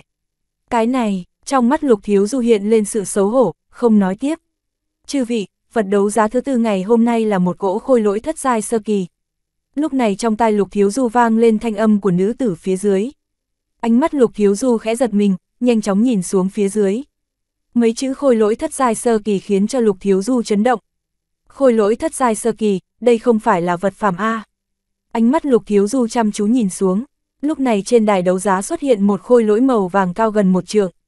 Toàn thân khôi lỗi vàng óng, sáng bóng, khôi lỗi này tựa như một thạch nhân, có cánh tay cực lớn. Thế nhưng tay lại giống như móng vuốt, mà lại là móng vuốt của chim ưng. Khóe miệng còn có răng nanh bén nhọn, không biết là luyện chế từ tài liệu gì, từng cỗ hàn quang từ trên khôi lỗi bắn ra, cả khôi lỗi này lúc này có chút ảm đạm, thế nhưng quanh thân trong lúc vô hình có khí tức cường hãn tỏa ra. Khôi lỗi thất giai sơ cấp, ánh mắt lục thiếu du nhìn chăm chú vào khôi lỗi thất giai sơ cấp này. Khôi lỗi thất giai sơ cấp, thực lực thấp nhất cũng tương đương với vũ vương nhất trọng. Loại khôi lỗi này không ai muốn lấy ra đấu giá A. Không ngờ hôm nay hắn lại gặp phải. Khôi lỗi này vừa xuất hiện, giờ phút này trong tâm thần dò xét của Lục Thiếu Du, lúc này có không ít cường giả đều dùng ánh mắt nóng bỏng nhìn vào khôi lỗi thất giai sơ cấp. Khôi lỗi thất giai sơ cấp, không phải là phàm vật. Chư vị, đây là khôi lỗi thất giai sơ cấp, nó đã được cường giả vạn tượng thương hội ta kiểm tra. Tuyệt đối là khôi lỗi thất giai sơ cấp hàng thật giá thật. Khôi lỗi này cũng đã bị hao tổn, muốn chữa trị sợ rằng không dễ dàng. Nhưng tài liệu khôi lỗi thất giai này, nếu như có thể hòa tan mà nói, có lẽ ít nhất có thể luyện chế ra một gỗ khôi lôi lục giai trung cấp. Hoặc là nếu như vận khí tốt thì còn có thể luyện chế ra một gỗ khôi lỗi lục giai cao cấp cũng không chừng. Nữ tử gọi là Hoàng Đan kia nhanh chóng nói với mọi người. Hóa ra là hỏng, lập tức, đại bộ phận người vốn cảm thấy cực kỳ hứng thú lập tức giảm. Xuống, khôi lỗi thất giai sơ cấp bị hỏng, có lẽ đã không còn cách nào chữa trị. Ngay cả vạn tượng thương hội này cũng không sửa được cho nên mới mang ra đấu giá kiếm lại một khoản. Nếu như còn có cơ hội chữa trị mà nói, vạn tượng thương hội này sao có thể cam lòng lấy ra đấu giá. Tự mình giữ lại thì tốt hơn nhiều. Vẻ mặt lục thiếu du hơi chút biến hóa, thế nhưng cũng không để ý tới bên ngoài quá lớn. Cái này nếu là khôi lỗi thất giai sơ cấp nguyên vẹn có lẽ ai cũng không muốn lấy ra đấu giá, loại bảo vệ cấp độ này không ai cam lòng bỏ đi. chương 1090, Trục Vũ Linh Khí Chuyện được thực hiện bởi obookaudio.com Bất quá nếu đã hỏng thì không giống nữa. Dựa theo lời vạn tượng thương hội này mà nói, khôi lỗi này sợ rằng đã không còn cách nào chữa trị. Chỉ có thể mua nó sau đó hòa tan lấy tài liệu luyện chế lại một lần nữa. Mà cách này sợ rằng cũng không phải là chuyện dễ dàng. Hòa tan tài liệu khôi lỗi thất giai, Linh suất sợ rằng căn bản không làm được. Nếu như Linh Vương mà nói, đủ thực lực để hòa tan khôi lỗi thất giai, sau đó lại luyện chế ra khôi lỗi lục giai. Loại chuyện như vậy người thường căn bản không thừa hơi làm. Mất bao nhiêu sức lực lại không được đồ tốt, huống chi chuyện luyện chế khôi lỗi này, không phải linh giả nào cũng biết. Chư vị, khôi lỗi thất giai sơ kỳ hỏng này giá ban đầu là 3.000 vạn kim tệ. Một lần lên giá ít nhất là 100 vạn kim tệ thanh âm hoàng đan kia lại vang lên. Khi thanh âm hoàng đan chấm dứt, trong phòng đấu giá lại không xuất hiện cảnh lập tức kêu giá. Nếu như là khôi lỗi nguyên vẹn, vũ giả linh giả đều có thể mua lấy. Nhưng khôi lỗi này đã bị hỏng, vũ giả mua về không có một chút tác dụng nào. Cho dù là linh giả, người hiểu được luyện chế khôi lỗi không có bao nhiêu. Người thực lực thấp cũng biết, với tài liệu, khôi lỗi thất giai, người thực lực thấp căn bản không có cách nào hòa tan. Tài liệu tuy rằng tốt thế nhưng mua về lại là sắt vụn, không có cách nào luyện hóa. Mà khôi lỗi luyện chế ra một lần nữa cũng có khả năng thất bại. Cộng tất cả chuyện này lại, cho nên hiện tại có không ít người khi trước muốn mua lập tức rút lui thẩm định lại giá trị. Cảm thấy dường như mua về cũng vẫn đắt, 3.100 vạn kim tệ. Một lát sau, rốt cuộc có người ra giá. Lục Thiếu Du đưa mắt nhìn về phía phát ra tiếng hô. Âm thanh phát ra từ trong miệng một linh suất ở lầu 2. Khí tức trên người thu liếm cho nên trong lúc nhất thời Lục Thiếu Du cũng không đoán ra được thực lực chuẩn xác của hắn. Có lẽ là linh suất ngũ trọng hoặc là linh suất lục trọng gì đó. 3.200 vạn kim tệ, 3.300 vạn kim tệ, có người thứ nhất ra giá, lập tức có không ít người bắt đầu điên cuồng ra giá theo. Giá trị không ngừng tăng lên, mấy người ra giá này đều là linh suất. Chỉ sau một lát, giá cả lập tức được nâng lên tới 8.000 vạn kim tệ. Dù sao ai cũng biết, tài liệu luyện chế khôi lỗi thất giai toàn bộ đều là bảo vật. Ánh mắt Lục Thiếu Du khẽ biến đổi, trong lúc mọi người ra giá Lục Thiếu Du nhanh chóng nhìn vào trên người khôi lỗi.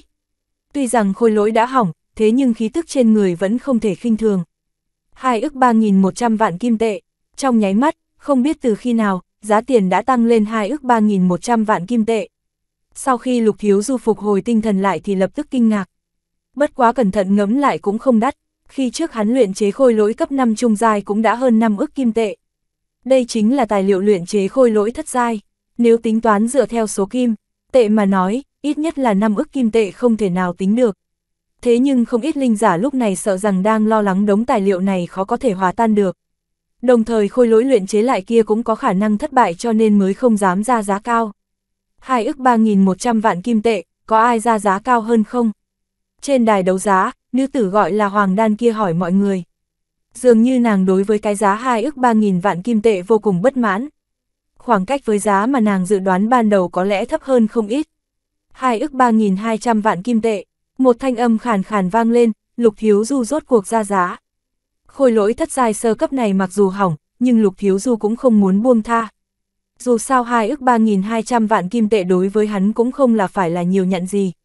Địa bàn thiên tinh tông không thu được, thế nhưng giới chỉ của Hồ Hưng Hải kia lại rơi vào trong tay phi linh môn.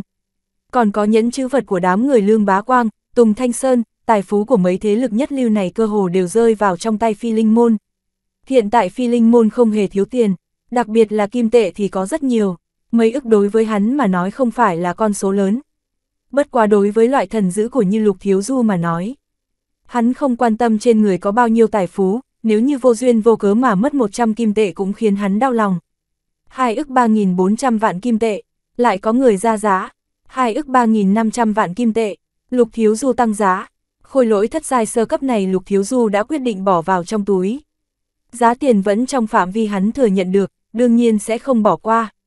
Cứ như vậy kêu giá mấy lần nữa. Cuối cùng Lục Thiếu Du dùng cái giá 2 ức 5 ngàn vạn kim tệ thu khôi lỗi thất giai này vào trong túi. Hắn cũng vô cùng vui vẻ, vô cùng đáng giá a Cũng coi như chiếm được tiện, nghi, vài vật phẩm đấu giá kế tiếp Lục Thiếu Du lại không có bao nhiêu hứng thú.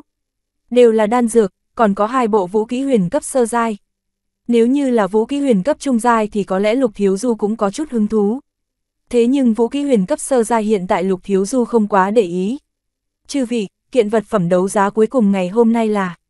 Nữ tử gọi là Hoàng Đan kia dùng đôi mắt xinh đẹp nhìn mọi người, rốt cuộc lúc này cũng tới kiện vật phẩm cuối cùng lên đài đấu giá. Giờ phút này, trong nháy mắt ở giữa những thân ảnh đông nghịt kia có mấy đạo khí thức mịt mờ bắt đầu nhìn lên đài đấu giá. Có lẽ bọn họ đều đến vì kiện vũ linh khí này. Nhí mắt lục thiếu du nhảy lên, hắn đã cảm nhận được mấy đạo khí thức mịt mờ này. Toàn bộ đều không kém, vài đạo khí thức này ít nhất cho hai người không dưới Lộc Sơn lão nhân và Thanh Hỏa lão quỷ. Chư vị, kiện vật phẩm đấu giá cuối cùng này chính là một kiện vũ linh khí hoàng cấp gọi là hỏa viêm kiếm. Trên đài đấu giá, nữ tử kia nhanh chóng tiếp nhận một hộp gấm dài trong tay một nam tử áo đen.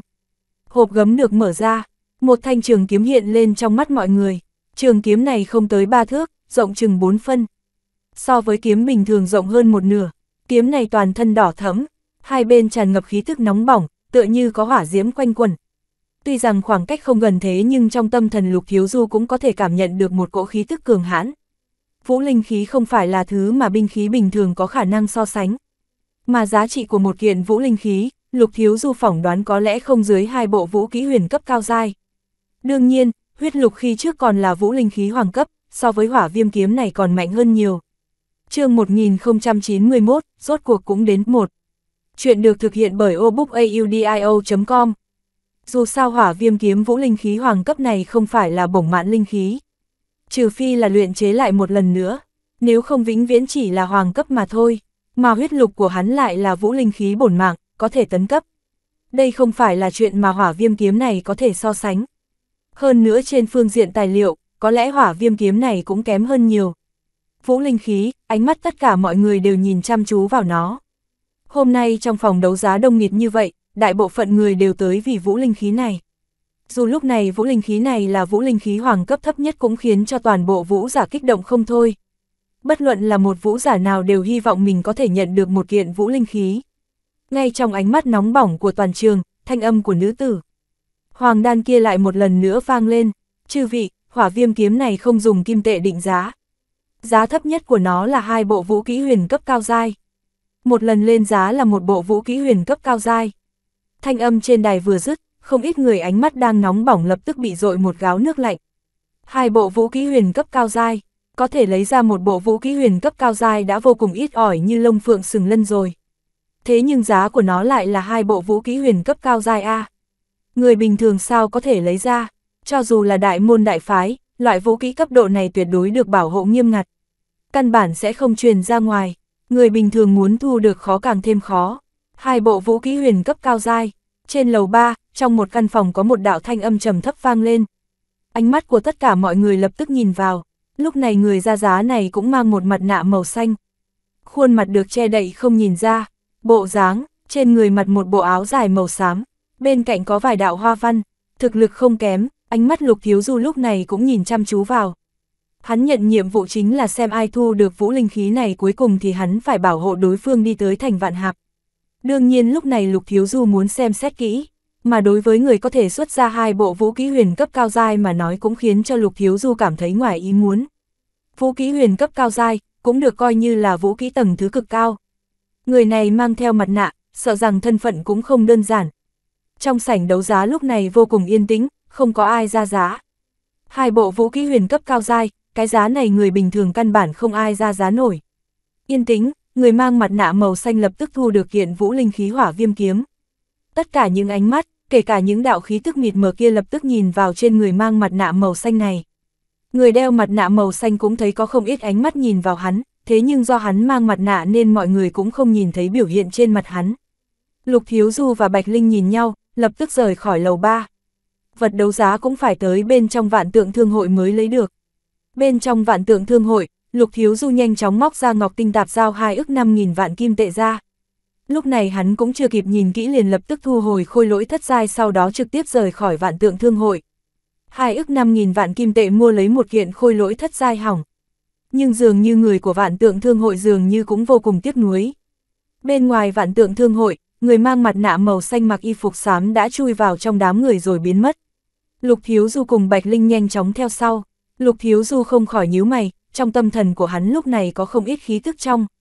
Phòng đấu giá vừa rồi cũng đang theo đuôi người nọ, chuyện giết người đoạt bảo ở kiếp này Lục Thiếu Du cũng không kỳ quái, dù sao cũng đã thấy nhiều. Mà ở trong thành cự giang này chỉ sợ càng không kỳ quái chút nào. Một giờ sau Lục Thiếu Du cùng Bạch Linh nhanh chóng đi ra bên ngoài thành cự giang. Bên ngoài thành, một mảnh sơn mạch rộng lớn. Sơn mạch này vô cùng lớn, xuyên qua mảnh núi non này, bên trái chính là thành vạn hạp. Thiếu du người này khiến cho ta có cảm giác dường như không đúng. Ánh mắt Bạch Linh khẽ đổi rồi nói với Lục Thiếu Du. Lục Thiếu Du chăm chú nhìn về phía trước, thế nhưng hiện tại còn chưa phát hiện ra cái gì. Người phía trước kia trên người phát ra khí tức vũ xuất. Chỉ là người nọ cũng thu liếm khí tức cho nên không phát giác ra cấp độ thực sự. Trong sân mạch, người mang mặt nạ áo xanh kia đang dùng ánh mắt nhìn chung quanh một lát. Các hạ, chúng ta có thể xuất phát được chứ? Lục Thiếu Du nhanh chóng dán cấp hiệu của thiên địa các lên vai. Lập tức cùng Bạch Linh xuất hiện ở trước mặt thân ảnh màu xanh kia. Trên khuôn mặt người mang mặt nạ xanh kia, ánh mắt khẽ đảo, nhìn qua. Lục Thiếu Du cùng Bạch Linh, thanh âm trầm thấp vang lên. Ta chỉ muốn tìm một người, không tìm hai. Chúng ta chỉ thu của ngươi một phần thù lao, cũng không thu của ngươi hai phần. Thanh âm khàn khàn của Lục Thiếu Du vang lên. Các ngươi còn chưa là trưởng lão chính thức của thiên địa các. Dưới mặt nạ, thanh âm trầm thấp kia lại vang lên. Ánh mắt trong mặt nạ khẽ biến đổi, nhìn vào cấp hiệu của Lục Thiếu Du rồi nói. Có thể đưa ngươi tới thành vạn hạp là được rồi. Lục Thiếu Du nói, vậy được rồi, chúng ta đi. Người áo bảo xám này nói xong, lập tức nhảy lên lưng một đầu yêu thú tứ giai hậu kỳ lớn đang xoay quanh bên trên. Đầu yêu thú này có tên là phong vũ yêu ưng. Lục Thiếu Du cùng Bạch Linh nhìn nhau, sau đó nhìn bốn phía rồi lập tức nhảy lên lưng yêu thú phi hành. Trong lòng Lục Thiếu Du có chút kỳ quái, phi hành yêu thú này rất bình thường, người này có thể mua được vũ linh khí hoàng cấp không ngờ tòa kỵ của hắn lại quá bình thường như vậy. Yêu thú phi hành vỗ cánh bay lên, thân ảnh áo bào xám kia cũng không nói gì với hai người Lục Thiếu Du nữa mà lập tức khoanh chân nhắm mắt dưỡng thần. Bốn phía lúc này đều là sơn mạch liên miên, rộng lớn bao la. Lục Thiếu Du cũng không nhìn thấy người đuổi theo, thế nhưng hắn cũng không dám kinh thường. Một lát sau, hắn cũng lập tức nhắm mắt dưỡng thần. Dựa theo tốc độ của phong vũ yêu ưng này, Lục Thiếu Du phỏng đoán có lẽ phải mất 10 ngày mới có thể tới thành vạn hạp. Tốc độ của phong vũ yêu ưng không thể so sánh với thiên sĩ tuyết sư. Thời gian chậm rãi trôi qua, trên đường đi Lục Thiếu Du vô cùng lo lắng, dù không xuất hiện tình huống nào khiến cho Lục Thiếu Du phải xử lý. Nhưng Lục Thiếu Du cũng không dám thả lỏng, vẫn luôn để ý chung quanh, mãi tới sáng sớm ngày thứ 8. Khi yêu thú phi hành này bay qua không trung, ở sơn cốc rậm rạp cây cối phía dưới lúc này vang lên tiếng thú minh. Sơn mạch phía dưới lúc này có vô số chim chóc bay lên bầu trời sơn mạch. Thanh âm chấn động ào ào khiến cho không khí trở nên khẩn trương hơn rất nhiều chương 1092, rốt cuộc cũng đến khai Chuyện được thực hiện bởi obookaudio.com Người mang mặt nạ màu xanh kia rốt cuộc cũng mở mắt ra. Ánh mắt lạnh lùng nhìn về phía trước, có chút không đúng, Lục Thiếu Du đang nhắm mắt dưỡng thần cũng mở mắt ra cảnh giác nhìn về phía trước. Sơn mạch phía dưới có một sơn cốc diện tích không nhỏ, bên cạnh có mấy ngọn núi dựa thế vây quanh, cao vút tới tận tầng mây, tạo thành một thâm cốc cực lớn. Có người tới, Bạch Linh khẽ mở miệng nói. Ngay khi thanh âm Bạch Linh vừa dứt, trong sơn cốc phía dưới đột nhiên vang lên một thanh âm trầm thấp. Lưu lại vũ linh khí thì có thể đi. Thanh âm này vừa dứt, ở không trung trước mặt mấy người lập tức xuất hiện một đạo thân ảnh. Mà người này cũng mang mặt nạ, thế nhưng theo hình dáng bên ngoài mà nói, người này là một phụ thân. Trên người mặc một bộ váy dài, trước ngực cao ngất, lại làm tăng lên vài phần khí chất thành thục vũ nghị. Eo nhỏ nhắn, cặp chân dài, đường cong vô cùng mê người. Siêu siêu, lúc này lại có năm đạo thân ảnh nhanh chóng lao tới. Năm đạo thân ảnh, này cơ hồ xuất hiện cùng một lúc, năm người lăng không mà tới. Khí tức quanh người tràn ra, y phục tung bay. Năm người này có ba người mang mặt nạ, hai người mang áo choàng, khăn và mặt nạ che khuất mặt cho nên không nhìn thấy rõ bộ dáng cho lắm. Thế nhưng từ thân hình bên ngoài có lẽ là nam tử, không giống như là nữ nhân. Phong vũ yêu ưng đứng ở giữa không trung, dường như lúc này cảm nhận được nguy hiểm.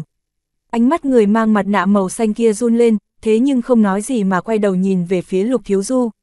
Thiên địa các chấp hành nhiệm vụ, các vị nhường đường. Linh lực trên người bùng lên, thân ảnh lục thiếu du nhanh chóng lơ lửng trên không trung sáu đạo thân ảnh trước mặt này Lục Thiếu Du cũng không khó cảm giác được. Trong đó ít nhất có ba người từng xuất hiện qua trên đấu giá hội. Thiên địa các, nhìn thấy Lục Thiếu Du xuất hiện, ánh mắt sáu đạo thân ảnh này lập tức có chút biến hóa. Dường như ba chữ thiên địa các này sáu người đều vô cùng rõ ràng. Chúng ta muốn lấy đồ vật chúng ta cần, thiên địa các chấp hành nhiệm vụ đương nhiên bình thường chúng ta không dám cản đường. Thế nhưng lúc này không thể nhường được, các hạ chỉ có một mình. Không biết các hạ có thể hoàn thành được nhiệm vụ lần này hay không? Bên trái một người mang áo choàng lạnh nhạt nói, muốn chết, ánh mắt lục thiếu du lập tức lạnh lùng quát lên một tiếng. Loại trường hợp này căn bản không cần nói nhiều, những người này nói rõ là tới đoạt bảo vật cho nên sẽ không bỏ qua. Chỉ có một biện pháp đó là chấn nhiếp tuyệt đối, mà muốn chấn nhiếp tuyệt đối thì cũng chỉ có thể dựa vào thực lực chứng minh. Đao hồn chảm, khí tức của người này là vũ suất ngũ trọng, lục thiếu du đã sớm dò xét qua, một tiếng quát trầm thấp từ trong miệng lục thiếu du vang lên. Lục Thiếu Du không có chút trì hoãn nào, linh lực đột nhiên tuôn ra. Thủ ấn trong tay nhanh chóng vẽ lên một cái, giống như vẽ ra một vòng cung trước người. Trong tay lập tức có một đạo đao mang giống như trăng tàn cuối tháng. Đao mang này nhanh chóng bành trướng cắt ngang qua không gian mang theo khí tức bá đạo bắn về phía trước. Linh xuất lục trọng, nhìn thấy công kích của lục thiếu du, thân ảnh mang áo choàng này lập tức kinh ngạc. Thân hình run lên rồi nhanh chóng lùi lại. Một cây trường côn màu xanh nhanh chóng xuất hiện trong tay, chân khí được rót vào, quanh mang lập tức xuất hiện. Siêu siêu, một đám côn mang nhanh chóng bao phủ trước người hắn, cả không gian trước người hắn lúc này lập tức vặn vẹo. Lục thiếu du nhíu mày, thủ ấn trong tay vung lên. Đao mang cắt ngang hư không thế nhưng lại không khiến cho không gian chấn động, đao mang tạo thành một đạo quang mang giống như lưu tinh xẹt qua không gian rồi hung hăng đánh về phía vũ suốt ngũ trọng mang áo choàng kia. Siêu siêu, đao mang trực tiếp đánh vào trên côn ảnh. Đao mang nhìn như chỉ có một kia lúc này khiến cho vô số côn ảnh vặn vẹo, gợn sóng trong không gian lúc này dạn nứt. Năng lượng khủng bố nhanh chóng bạo liệt, phanh phanh, côn mang nhanh chóng bạo liệt, đao mang màu đỏ giữa không trung lập tức tiêu tán. Đao hồn quang nhận, lúc này, cơ hồ là cùng một lúc khi đao mang tiêu tán, một tiếng quát từ trong miệng lục thiếu du vang lên. Trong tay mang theo một vòng cung, yêu mỹ, một đạo đao mang màu đỏ nhanh chóng cắt ngang qua không gian đánh về phía trước. Khục khục, côn mang bị phá, một cỗ kình phong cực lớn khuếch tán. Vũ suốt ngũ trọng kia lảo đảo lui về phía sau, sắc mặt tái nhợt, siêu siêu, cơ hồ trong nháy mắt, thân ảnh lục thiếu du như quỷ mị xuất hiện trước người vũ suốt ngũ trọng kia. Đao mang trực tiếp nện vào trên người hắn, đao mang màu đỏ biến mất, ánh mắt người này trở nên ngây ngốc, thân thể đứng giữa không trung. Năm người chung quanh lúc này không có hành động gì, đều không có ý tứ ra tay giúp đỡ. Phanh, thân ảnh mang áo choàng nhìn về phía trước, ngay lúc đó thân hình trực tiếp bị phân thành hai nửa, trực tiếp vỡ nát. Năm người có mặt ở đây ánh mắt có chút biến hóa. Vừa ra tay nhanh chóng đánh chết một vũ xuất ngũ trọng, thực lực bực này cho dù là linh xuất lục trọng cũng không cách nào đơn giản làm được. Tu vi linh xuất lục trọng mà thôi, thực lực cũng không tồi. Thế nhưng chỉ sợ hôm nay ngươi không bảo hộ được người này. Nữ tử mang mặt nạ kia nhìn về thi thể vũ xuất ngũ trọng vừa mới chết đi rồi nhìn về phía lục thiếu du lạnh nhạt nói. Trong mắt mang theo một cỗ hàn ý, nhận nhiệm vụ là phải hoàn thành. Đây chính là quy củ của thiên địa các. Lục thiếu du nói, cảm nhận thực lực của năm người còn lại, lúc này có hai người bản thân hắn không thể nhìn thấu. Nữ tử này hẳn là vũ xuất thất trọng, cho dù hắn gặp phải cũng khó nhằn, còn có hai người còn lại một cũng là linh xuất lục trọng, một vũ xuất lục trọng. Quả thực nếu như hắn, muốn bảo vệ người kia vô cùng khó, trừ phi là bại lộ thực lực vũ giả. Trên phương diện linh giả, lục thiếu dù biết rõ bằng vào thực lực linh xuất lục trọng của mình, tuy rằng linh lực không kém. Trong đám linh giả đồng cấp cũng có thể xem như người nổi bật. Thế nhưng so sánh với tu vi vũ giả mà nói, bằng vào tu vi linh giả của hắn không cách nào so sánh với vũ giả. Không cường hãn như vậy, phương diện vũ giả, hắn có huyết lục, vũ kỹ huyền cấp trung giai, còn có đan điền khổng lồ tới mức khủng bố. Tăng thêm huyễn ảnh thanh vũ, trên phương diện linh giả thì kém hơn rất nhiều. Lục thiếu du phỏng đoán, bằng vào thực lực linh giả của hắn, tối đa chỉ có thể đánh chết vũ giả đồng cấp. Đụng độ phải vũ suất thất trọng cùng với linh suất có lẽ không tới mức bị thua. Thế nhưng muốn đánh giết tuyệt đối không thể làm được, đối thủ tới cấp độ này muốn đánh giết nào có dễ dàng như vậy. Trừ phi là thi triển linh hồn công kích, mà linh hồn công kích của hắn, trước mắt mà nói, chính là con át chủ bài cuối cùng. chương 1093, Cường hãn ra tay. Chuyện được thực hiện bởi obookaudio.com Linh hồn lực của hắn rất mạnh, sau khi phục dụng linh thần dịch của vạn thú tông còn có kim đao màu vàng rèn luyện linh hồn lực. Lại phục dụng hồn linh quả, lại thêm địa linh dịch, đối với linh hồn lực có trợ giúp cực lớn. Lúc thôn vệ linh giả, có thể tăng cường linh hồn lực. Lại thêm hồn ảnh của thôi mệnh phán quan kia, trên phương diện linh hồn lực hắn đạt được chỗ tốt cực lớn. Tuy rằng đại bộ phận đều bị kim đao màu vàng thôn vệ phần lớn chỗ tốt. Thế nhưng Lục Thiếu Du cũng có thể đoán được linh hồn lực của mình so với linh giả đồng cấp mạn hơn nhiều. Luận linh hồn lực của hắn mà nói, sợ rằng linh suất thất trọng, bát trọng cũng không có cách nào chống lại linh hồn lực của hắn. Thế nhưng linh hồn công kích cũng không thể đơn giản thi triển ra. Nếu như bị thương thì quả thực không phải thương thế bình. Thường, chư vị, chúng ta liên thủ được không? Về phần vũ linh khí hoàng cấp này thì sau đó xem ai vận khí tốt thì là của người đó. Phụ nhân này ngẩng đầu nhìn bốn người chung quanh rồi nói. Cũng tốt, mọi người liên thủ, tất cả phải xem vận khí của bản thân. Một người lên tiếng, linh lực trên người tràn ra, chính là người có tu vi linh xuất lục trọng kia. Động thủ đi, vũ xuất lục trọng kia trực tiếp quát lên một tiếng, chân khí dưới chân lóe lên, thân ảnh như quỷ mị lao thẳng tới lục thiếu du. Thế nhưng từ ánh mắt của hắn, đối với lục thiếu du trước mặt cũng không dám khinh thường. Ánh mắt lục thiếu du lúc này vô cùng lạnh lẽo, một cỗ sát ý hiện lên. Trong phi linh môn, bằng vào thân phận trưởng môn của hắn, có đôi khi muốn động tay động chân cũng phải cố kỵ. Có một ít người cũng không thể phóng tay mà đánh chết. Mà lúc này hắn có thân phận mới, giờ phút này lục thiếu du nhanh chóng phát ra sát khí đã đè nén từ lâu. Đông, vũ xuất lục trọng kia nhanh chóng lao tới lục thiếu du. Chân khí thuộc tính thủy trên người bùng ra, trong tay nắm lấy một thanh trường kiếm màu xanh ra trời. Cánh tay vung lên, kiếm quang phá không cắt ngang gợn sóng trong không trung khiến cho không gian chấn động. Kinh khí rít gào tạo thành thanh âm bạo liệt tổng không trung. Kiếm quang mang theo một đám tàn ảnh khuếch tán cùng với một cỗ uy thế kinh khủng trực tiếp bổ về phía Lục Thiếu Du. Ánh mắt Lục Thiếu Du lạnh lẽo, sát khí tràn ngập. Lúc này thủ ấn trong tay hắn nhanh chóng được kết, quanh người có một cỗ khí tức quỷ dị lập tức lan tràn. Lấy quanh người làm trung tâm, gợn sóng trong không gian chung quanh bắt đầu cuồn cuộn giống như nước sôi. Nếu như muốn hoàn thành nhiệm vụ này, sợ rằng hôm nay hắn phải liều một hồi. Cuối cùng khi thủ ấn kết xuất, hắn mang trên người lục thiếu du lóe lên, thanh âm xé gió vang lên trước người hắn.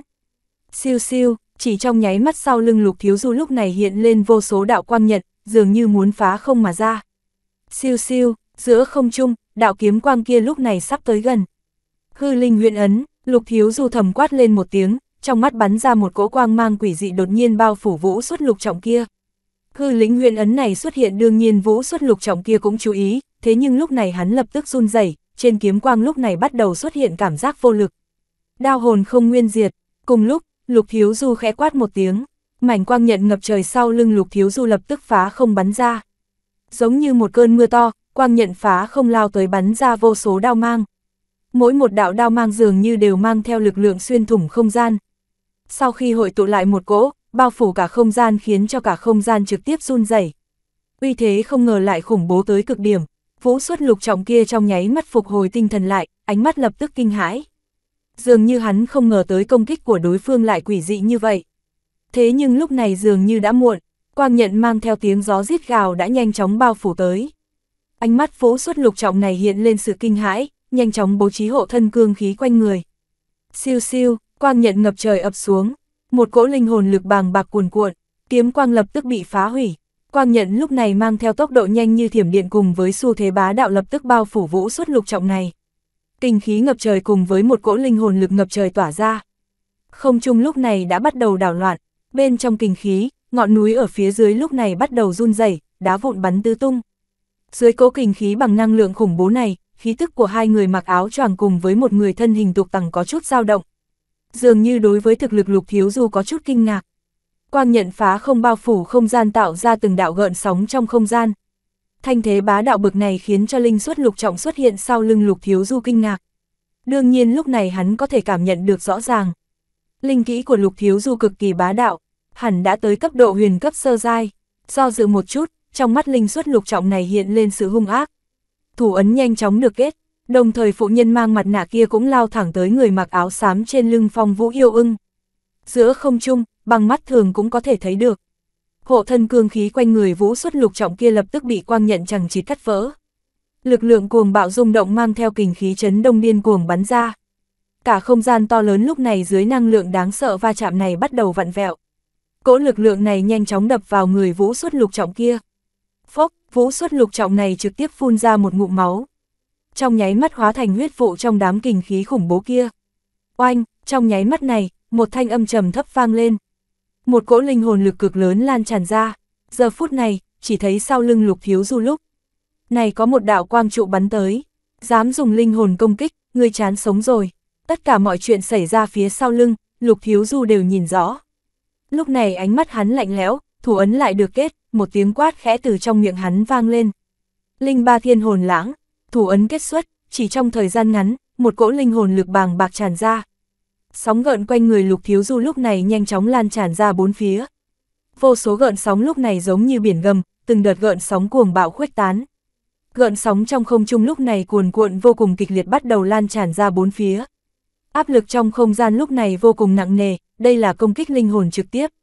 Bên trong từng đạo gợn sóng trong không gian đều có linh hồn công kích, lúc này càng khiến cho công kích cường hãn, cả không gian to lớn lúc này trực tiếp vặn vẹp, Linh ba thiên hồn lãng và đao hồn kỹ đều là linh kỹ huyền cấp sơ giai. Thế nhưng cả hai đều có uy lực rất mạnh, đao hồn kỹ rộng lớn, linh ba thiên hồn lãng lại liên miên không ngớt. Đồng thời linh ba thiên hồn lãng chính là công kích bằng linh hồn lực thuần túy. chương 1094, Lao Sơn Nhị Lão 1 Chuyện được thực hiện bởi obookaudio.com Ánh mắt linh xuất lục trọng kia lập tức đại biến, linh hồn lực nhanh chóng được tăng thêm vài phần, cảm nhận linh hồn lực của đối phương khiến cho trong nội tâm hắn lúc này cũng có chút sợ hãi cùng áp chế. Giờ phút này bản thân hắn bị linh hồn lực bàng bạc bao phủ, dường như bốn phía đều có linh hồn lực bàng bạc bắn tới. Âm ầm, quang trụ bằng linh hồn cùng linh ba thiên hồn lãng do lục thiếu du ngưng tụ nhanh chóng va chạm với nhau. Hai cỗ năng lượng va chạm, năng lượng bằng linh hồn cuồng bạo nhanh chóng khuếch tán ở giữa không trung. Linh hồn lực khổng lồ lúc này tuyệt đối vô cùng cường hãn, nhanh chóng khuếch tán khiến cho cả không gian vặn vẹo khiến cho sâu trong linh hồn mấy người còn lại cảm thấy cực kỳ áp lực. Siêu siêu, lúc này linh ba thiên hồn lãng do lục thiếu du ngưng tụ ra và đạo quang trụ bằng linh hồn lực khổng lồ kia nhanh chóng va chạm. Đạo quang trụ bằng linh hồn lực kia nhanh chóng bị đánh cho sơ xác rồi tan biến. Tiếp theo trong nháy mắt linh ba thiên hồn lãng kia nhanh chóng hung hăng đánh vào trên người linh xuất lục trọng kia. Phanh, một cỗ linh hồn lực mạnh mẽ đánh xuống. Linh xuất lục trọng kia lúc này vô cùng kinh ngạc, đối phương rõ ràng cũng là linh xuất lục trọng, thế nhưng linh hồn lực không ngờ lại khủng bố như thế. Phốc, giờ phút này, dù kinh ngạc cũng đã muộn, trong nháy mắt, một đạo công kích bằng linh hồn từ trong gợn sóng bắn tới. Linh xuất lục trọng này trực tiếp phun ra một ngụm máu. Ngay tại thời điểm đó, đạo linh ba thiên hồn lãng thứ ba nhanh chóng bắn tới. Lúc này linh xuất lục trọng này liên tiếp bị công kích linh hồn đánh tới. Ánh mắt trở nên ngây ngốc, thân hình đứng nguyên tại chỗ. Linh ba thiên hồn lãng giữa không trung lúc này giống như một dòng nước bạo loạn tìm thấy một nơi chút vào, lập tức cuồn cuộn bắn tới. Lúc này một đám công kích linh ba thiên hồn lãng trong nháy mắt hung hăng đập vào trên người linh xuất lục trọng này. Siêu siêu, lực lượng cuồng bạo chút xuống, cả không gian đột nhiên vang lên tiếng trầm thấp, linh hồn lực giống như sóng lớn trong biển khơi giận dữ trực tiếp tập trung đánh vào trên người linh xuất lục trọng này. Khi một đạo linh ba thiên hồn lãng cuối cùng đánh vào trên người linh xuất lục trọng kia không gian như nổ tung. Lực lượng khủng bố bắn ra, hung hăng va chạm vào người linh suất lục trọng này. Phanh, thân thể người này đập xuống mặt đất, mất đi sinh cơ. Dưới cỗ linh hồn lực bàng bạc này, trực tiếp đem hồn đan trong đầu hắn phá hủy. Vốn hắn muốn thi triển linh hồn lực công kích nhưng thật không ngờ, linh hồn lực đối phương lại đánh cho hắn chết tươi. Trên lưng phong vũ yêu ưng, thân hình phụ nhân vũ xuất thất trọng kia lao thẳng tới thân ảnh mặc áo bảo xám đem theo một đạo trưởng ấn. Loại bảo vật như vũ linh khí hoàng cấp, trong mắt vũ xuất thất trọng mà nói, tuyệt đối là mê hoặc không cách nào cự tuyệt. Chảo ấn mang theo kinh khí cường hãn khiến cho không gian gợn sóng. Dưới lực lượng cường hãn không gian lúc này trầm trọng hẳn lên, kinh phong mạnh mẽ bắt đầu khuếch tán. Ánh mắt Bạch Linh nhảy lên, thế nhưng cũng không lập tức ra tay, trong mắt nàng lúc này có chút nghi hoặc. Vũ xuất thất trọng cũng dám tới đoạt linh khí, quả thực muốn chết. Đúng lúc này, thân ảnh mặc áo bảo sám kia lập tức nhảy ra, thân ảnh như là thuấn di. Phanh, trong nháy mắt khi Lục Thiếu Du quay đầu lại thì thấy một màn khiến cho hắn vô cùng kinh ngạc. Thân ảnh mặc áo bảo sám kia lúc này nhanh chóng đánh ra một đạo trưởng ấn trực tiếp rơi vào trên người phụ nhân kia. Trong không trung đột nhiên vang lên một thanh âm trầm đục.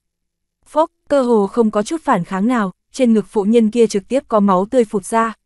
Thân hình giống như diều đứt dây rơi xuống ngọn núi phía dưới. Mặt đất chấn động, nơi thân thể phụ nhân đập xuống, trên mặt đất tạo thành một hố sâu cực lớn. Vũ xuất cửu trọng, ánh mắt lục thiếu du khẽ biến đổi. Người mua được vũ linh khí này hóa ra thực lực lại là vũ xuất cửu trọng. Loại cường giả cấp bậc này cách vũ vương chỉ có một tầng. Là người rất mạnh mẽ, trong cổ vực có không ít, thế nhưng tuyệt đối cũng không có quá nhiều. Cường giả tới cấp bậc này trên cơ bản đều cố gắng bế quan tu luyện, không có việc gì cũng không đi ra. Cố gắng đột phá vũ vương mới là mục tiêu của bọn hắn. Mà theo thực lực người mặc áo bảo xám này hiện ra, ánh mắt Bạch Linh có chút biến đổi. Lập tức đứng lên, ánh mắt nhìn hai người còn lại trong sáu người tới cướp đoạt vũ linh khí lúc này cũng không quá để ý. Hai người các ngươi, cũng không cần che che giấu giấu. Lao Sơn nhị lão, hiện tại các ngươi có thể đi, muốn linh khí, thực lực các ngươi sợ rằng còn kém một chút. Thân ảnh mặc áo bào xám nhìn hai người còn lại lạnh lẽo nói. Khặc khặc, không ngờ các hạ lại biết rõ chúng ta là ai, vậy thì chúng ta cũng không cần che giấu, thực lực các hạ quả thực có thể thắng chúng ta thế nhưng chỉ sợ cũng không làm cho chúng ta lập tức quay đầu đi. Ta thấy các hạ vẫn nên để vũ linh khí lại, người đầu đội áo choàng màu đen lập tức nói một câu. Sau đó lập tức rứt áo choàng trên đầu ném xuống phía dưới. Một khuôn mặt chừng 50 tuổi hiện lên, vẻ mặt vô cùng âm lệ, bên má trái của hắn có một cái bất màu đen chừng hai ngón tay. Giờ phút này người mang mặt nạ kia cũng tháo mặt nạ xuống. Thế nhưng có chút kỳ quái chính là hai người này bộ dáng giống như nhau như đúc. Bất quá có một điểm khác nhau chính là bên má phải người này có một cái bớt giống như đúc người kia.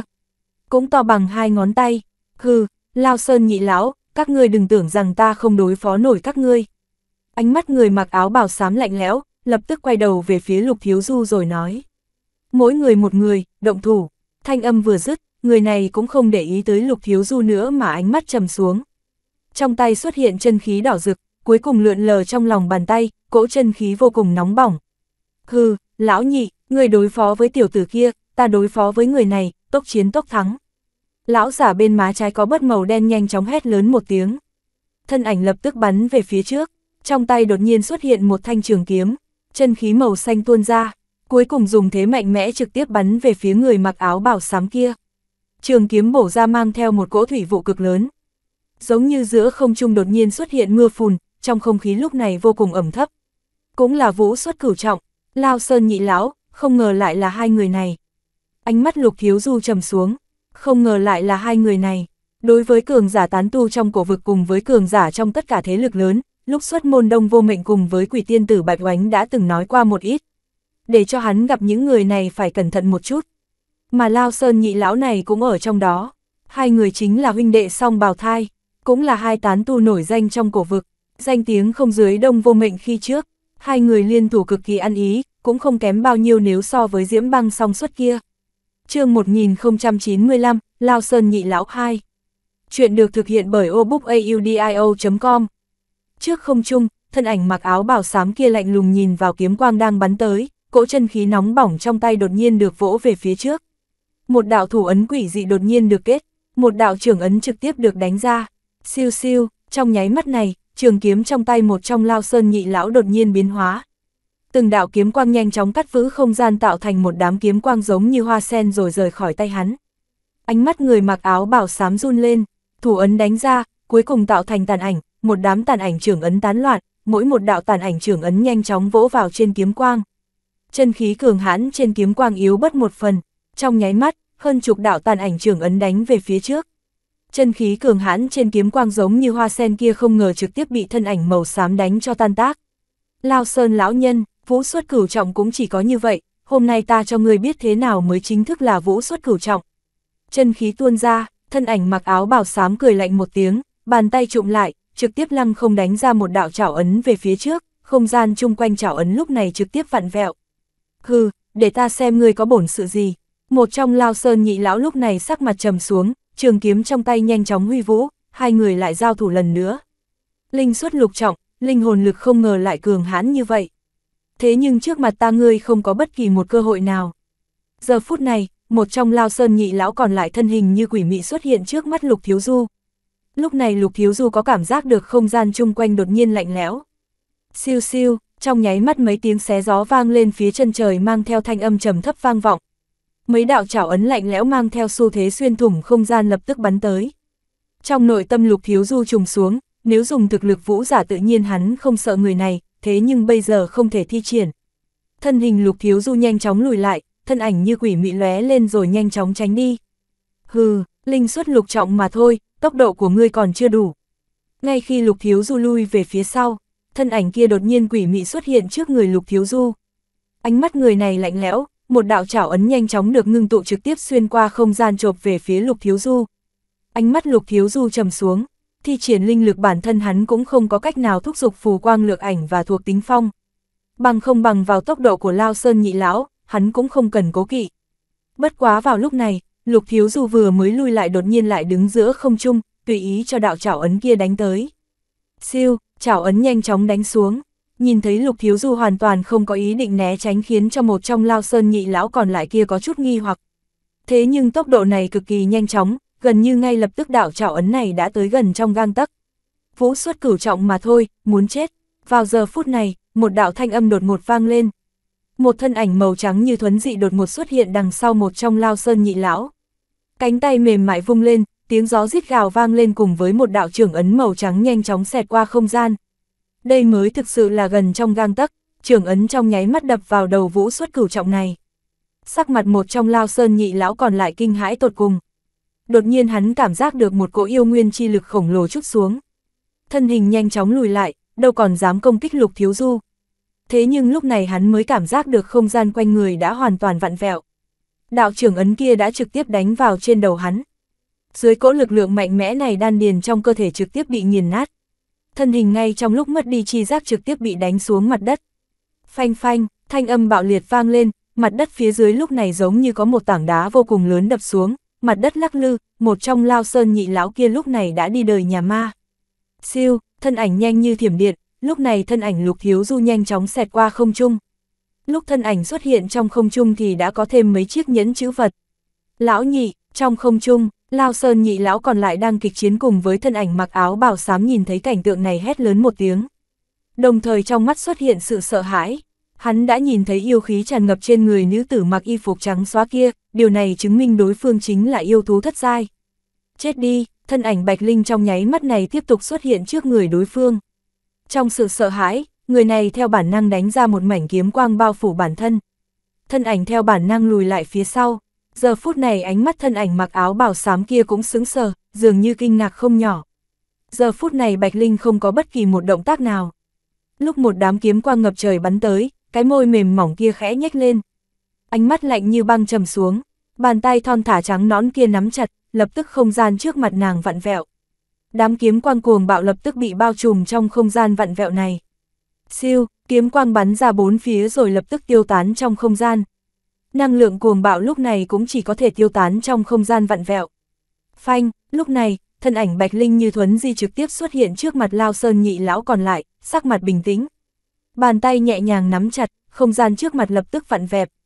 Mà ngay cả bản thân Lao Sơn nhị lão còn lại cũng vặn vẹo. Phanh, trong không gian vặn vẹo vang lên một thanh âm trầm thấp. Tựa như có vô số đạo phong nhận cắt qua, không gian lúc này vặn vẹo giống như là một vòng xoáy. Phanh, vũ suất cửu trọng này không có một chút phản kháng nào, miệng lập tức phun ra một ngụm máu, toàn bộ thân thể hóa thành một cỗ huyết vụ rơi xuống phía dưới.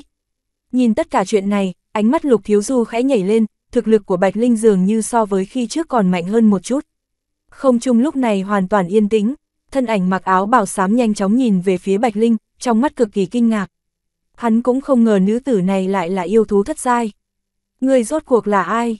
Người mua vũ linh khí, thế nhưng hiện tại chỉ sợ.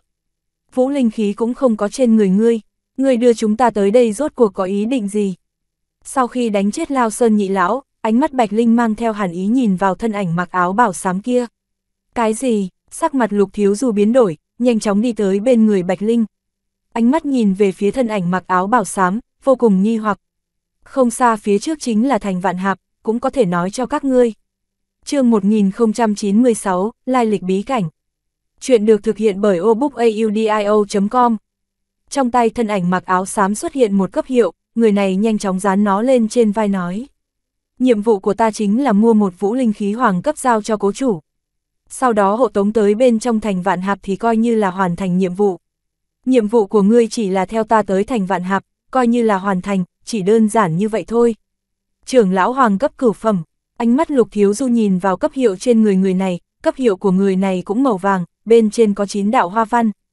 Đúng là biểu tượng của trưởng lão hoàng cấp cửu phẩm, ý ngươi chính là người chính thức mua vũ linh khí hoàng cấp đã đi, chúng ta chỉ là người thu hút sự chú ý mà thôi. Ánh mắt lục thiếu du trầm xuống, không nghĩ tới bản thân hắn lại không biết chút nào. Có gì là kỳ quái cơ chứ? Sau khi ngươi nhận nhiệm vụ nhiều thì sẽ thấy đây là chuyện cực kỳ bình thường. Ngươi vừa mới gia nhập đương nhiên không biết, tóm lại, chỉ cần làm theo nhiệm vụ là được rồi. Những mặt khác chúng ta không cần để ý, thân ảnh mặc áo bảo xám vốn không muốn trả lời, thế nhưng mắt thấy Bạch Linh trước mặt cho nên cuối cùng vẫn nói.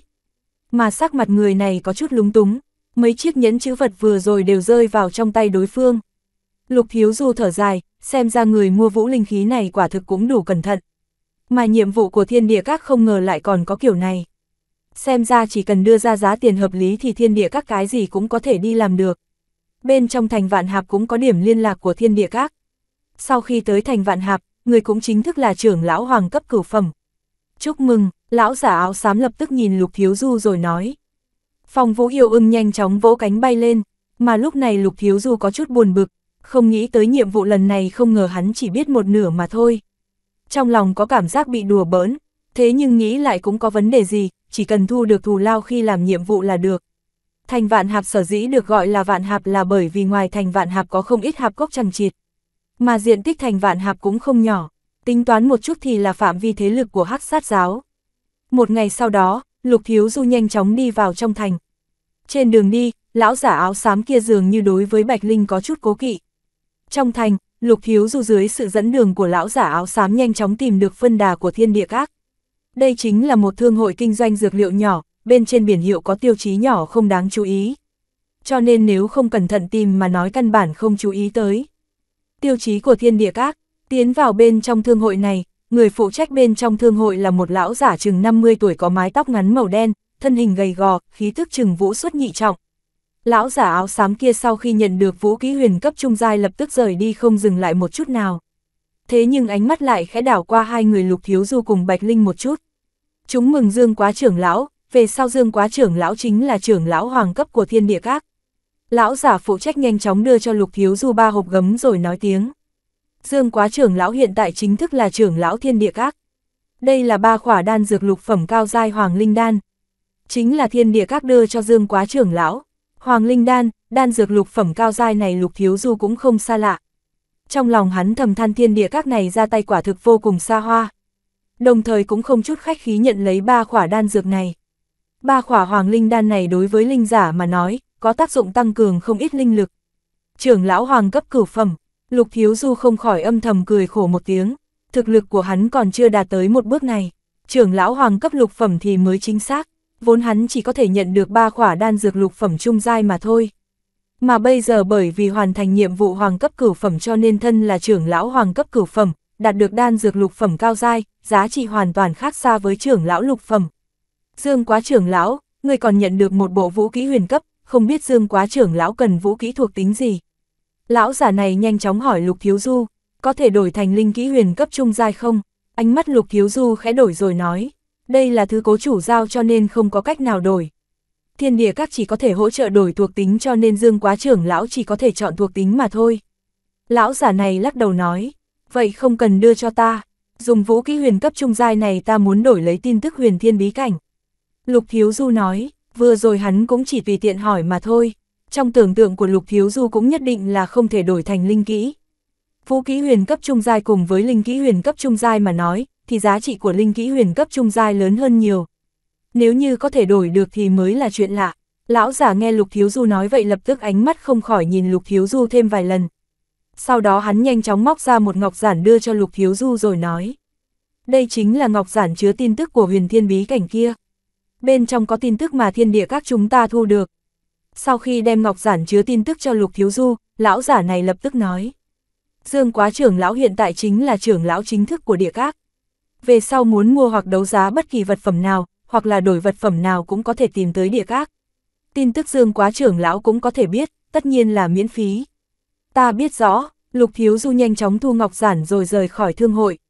Trưởng lão, hai người kia đi rồi. Ngay khi Lục Thiếu Du rời đi, trong nội đường lúc này có một thân ảnh.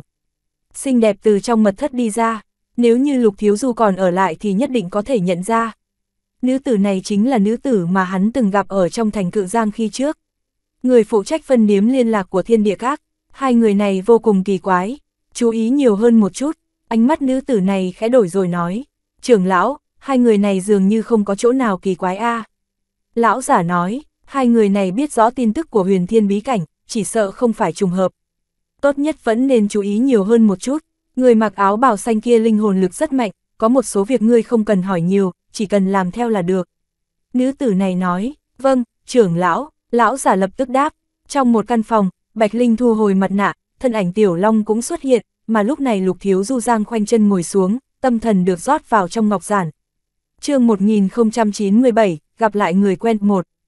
Chuyện được thực hiện bởi obookaudio.com Phù, một lát sau quang mang trên ngọc giản ảm đạm, lúc này trong nội tâm, Lục Thiếu Du vô cùng khiếp sợ, từ trong ngọc giản rốt cuộc Lục Thiếu Du mới biết được lai lịch của huyền thiên bí cảnh này không nhỏ. Mấy ngàn năm trước bên trong cổ vực có một sơn môn khổng lồ, thực lực không nhỏ gọi là huyền thiên môn. Thực lực huyền thiên môn rất mạnh, lúc ấy đã có bốn thế lực lớn như nhất tông nhất giáo nhất trang nhất môn. Có lời đồn, thực lực của huyền thiên môn này cũng không dưới nhất tông nhất giáo nhất trang nhất môn hiện tại. Thế nhưng về sau, không biết tại sao bốn đại sơn môn nhất tông nhất giáo nhất trang nhất môn đột nhiên phái ra cường giả liên thủ tiêu diệt huyền thiên môn. Đêm hôm đó chiến đấu vô cùng thảm thiết, cuối cùng huyền thiên môn không thể địch lại mà bị diệt. Mà nhất môn nhất giáo nhất tông nhất trang cũng tổn thất không nhỏ. Không bao lâu sau khi huyền thiên môn bị diệt thì có tin tức truyền ra. Tài phú của huyền thiên môn khi trước được phong ấn ở trong một bí cảnh. Mà nơi bí cảnh này hạ lạc nhất định phải thu thập đủ ba chiếc chìa khóa thì mới biết rõ được. Căn cứ vào lời đồn khi đó, trong bí cảnh này lưu lại bảo tàng khổng lồ của huyền thiên môn. Trình độ của nó đủ để coi là khủng bố, thậm chí không dưới tài phú tích lũy của nhất tông nhất giáo nhất trang nhất môn. Mấy ngàn năm qua, không ít người đều tìm kiếm nơi hạ lạc của huyền thiên bí cảnh. Thế nhưng vẫn không có tin tức gì. Theo thời gian trôi qua, người biết rõ tin tức này càng ngày càng ít. Đến những năm gần đây thậm chí việc này đã rơi vào quên lãng. Lão đại, huyền thiên bí cảnh kia có địa vị gì? Nhìn thấy lão đại đang trầm tư, tiểu long chớp mắt rồi hỏi lục thiếu du. Địa vị vô cùng lớn, ánh mắt lục thiếu du khẽ đảo, nhanh chóng nói ra tin tức nhận được bên trong ngọc giản cho tiểu long và bạch linh. Nếu như vậy, huyền thiên bí cảnh này không phải bình thường. Thế nhưng phải tìm được ba chiếc chìa khóa, đây không phải là chuyện dễ dàng. Bạch Linh nghe xong, trong đôi mắt xinh đẹp không khỏi hiện lên sự kinh ngạc. Lão đại, trong đám tin tức vừa rồi có nói tới hai chiếc chìa khóa còn lại ở đâu hay không? Lục Thiếu Du lắc đầu nói, không có, bất quá trong tin tức có nói tới thiên địa các đang tìm kiếm tin tức về nó. Nói không chừng vào một ngày không xa sẽ biết được về nó. Lục Thiếu Du suy nghĩ, hiện tại thiên địa các đang tìm kiếm tin tức. Trên người hắn có một chiếc chìa khóa, không biết có bị biết được hay không. Chẳng lẽ thiên địa các này thực sự thần thông đến vậy sao? Một lát sau, trong tay Lục Thiếu Du xuất hiện mấy chiếc nhẫn chữ vật, có tổng cộng 3 chiếc. Đều có cấm chế ở bên trên, mấy chiếc nhẫn chữ vật này là của đám người Lao Sơn nhị lão cùng với phụ nhân kia. Sau khi cởi bỏ toàn bộ cấm chế trên ba chiếc nhẫn chữ vật cũng đã là hừng đông. Vì cởi bỏ cấm chế trên ba chiếc nhẫn chữ vật này cũng khiến cho sắc mặt Lục Thiếu Du tái nhợt, tiêu hao không ít. Tâm thần được rót vào, Lục Thiếu Du nhanh chóng vui vẻ. Thu hoạch trong mấy chiếc nhẫn chữ vật này cũng không nhỏ. Mà trong chiếc nhẫn chữ vật của Vũ xuất lục trọng kia, Lục Thiếu Du nhanh chóng đoán ra có lẽ là hộ pháp của Lan Lăng Sơn Trang.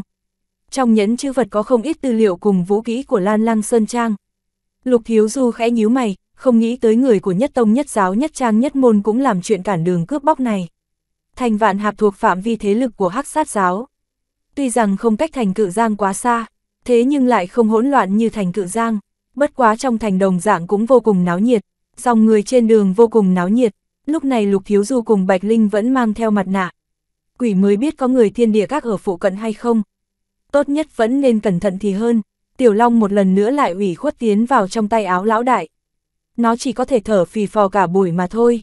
Hoàng gia hiện tại vô cùng náo nhiệt a Không ít linh giả đều tới đó, thế nhưng không có ai chữa bệnh được cho Hoàng Tiểu Thư. Đã hơn một tháng rồi, cũng không có linh giả nào có thể chữa tốt thương thế cho Hoàng Tiểu Thư. Nếu như chữa tốt cho Hoàng Tiểu Thư thì có thể nhận được một bộ linh kỹ huyền cấp sơ giai A. Trong thành vạn hạp không ít địa phương đều bàn tán về chuyện này. Hoàng gia ở trong thành vạn hạp này cũng xem như không ai không biết. Trong toàn bộ thành vạn hạp này Hoàng gia cũng coi như là một gia tộc thế lực khổng lồ nhất. Buổi trưa, trong nội thành vạn hạp cũng vô cùng náo nhiệt. Mà lúc này bên ngoài kiến trúc to lớn của Hoàng gia xuất hiện hai đạo thân ảnh. Một nam một nữ, đều mang mặt nạ trên mặt, nam thân hình cao ngất, nữ dáng vẻ thướt tha mềm mại, đường cong linh lung. Mà hai người này chính là Lục Thiếu Du cùng Bạch Linh. Sau khi Lục Thiếu Du nghe thấy chữa thương nhận được linh kỹ huyền cấp sơ giai, đối với linh kỹ huyền cấp sơ giai Lục Thiếu Du cũng không quá coi trọng. Hiện tại trong phi linh môn linh kỹ huyền cấp sơ giai cũng không thiếu. Bất quá linh kỹ huyền cấp sơ giai cũng không phải vật phàm. Chỉ cần chữa thương là có thể nhận được linh kỹ huyền cấp sơ giai, đương nhiên Lục Thiếu Du cũng muốn đi xem xem. Mời hai vị, hai người tiến vào hoàng gia. Sau khi nói rõ ý đồ tới, nhìn thấy hai người đeo mặt nạ, người hoàng gia sau khi nghi hoặc một lát lập tức mang theo hai người xuyên qua hành lang tới đại sảnh trong nội phủ. Ánh mắt nhìn qua bốn phía, hoàng gia này cực kỳ tráng lệ khiến cho lục thiếu du âm thầm cảm thấy kỳ quái. Trong hoàng gia này quả thực không giống bình thường, trong tầm thần dò xét của hắn, bên trong hoàng gia này thậm chí còn có không ít khí thức cường giả. Trong đại sảnh, lúc này có bốn người đang ngồi đó. Trang phục bốn người không đồng nhất, thế nhưng theo khí thức quanh người thì đều là linh giả. Đều là linh xuất, nhìn thấy hai người lục thiếu du tiến vào, bốn người lập tức nhìn ra. Bốn cỗ khí thức nhanh chóng đảo qua trên người lục thiếu du, cả đám đều giấu giếm sự kinh ngạc trong mắt. Bất kể là lục thiếu du hay bạch linh, bọn họ không thể dò xét được khí thức trên người. Lục thiếu du có chút kinh ngạc, ánh mắt đã sớm đảo qua trên người bốn người này. Một linh xuất lục trọng, một linh xuất tứ trọng, còn có một linh xuất tam trọng. Người có thực lực cao nhất là một lão giả bộ dáng chừng 60 tuổi, mặt mũi hơi đỏ, tu vi không ngờ đạt tới linh suất thất trọng. Lập tức ánh mắt lục thiếu du nhìn vào người thứ năm còn lại. Người này tuổi chừng hơn 40, mặc một bộ trường bào. Trên người còn có một kiện áo choàng, sắc mặt có chút tiêu tụy, thế nhưng ánh mắt sáng ngờ, thân hình gầy gò, cao ngất, trên người tỏa ra một cỗ anh khí. Quan trọng nhất chính là tu vi người này cũng tới vũ xuất. Lục thiếu du phỏng đoán sợ rằng cũng đã tới vũ xuất tứ trọng. Gia chủ, hai vị đại nhân này cũng tới chữa thương cho tiểu thư.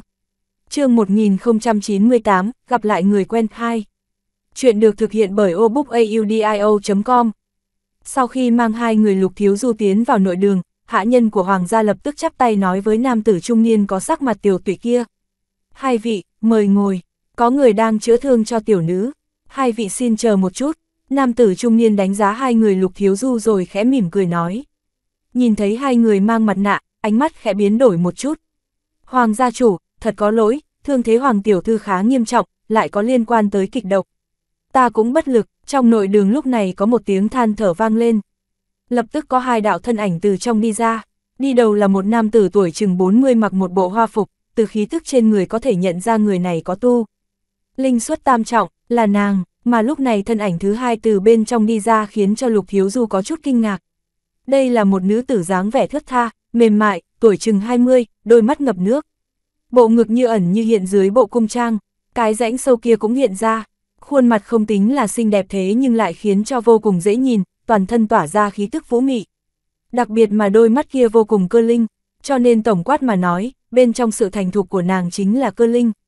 Tuyệt đối thuộc về dạng người được coi là ngựa tỷ. Người này không phải là ai khác mà chính là thủ tịch đấu giá sư hơn 10 ngày trước ở bên trong vạn tượng thương hội Hoàng Đan. Trần Huynh cũng đã cố hết sức rồi, đa tạ. Ánh mắt trung niên trên thủ vị hiện lên sự thất vọng, nhanh chóng nói với nam tử linh xuất vừa từ trong nội đường đi ra.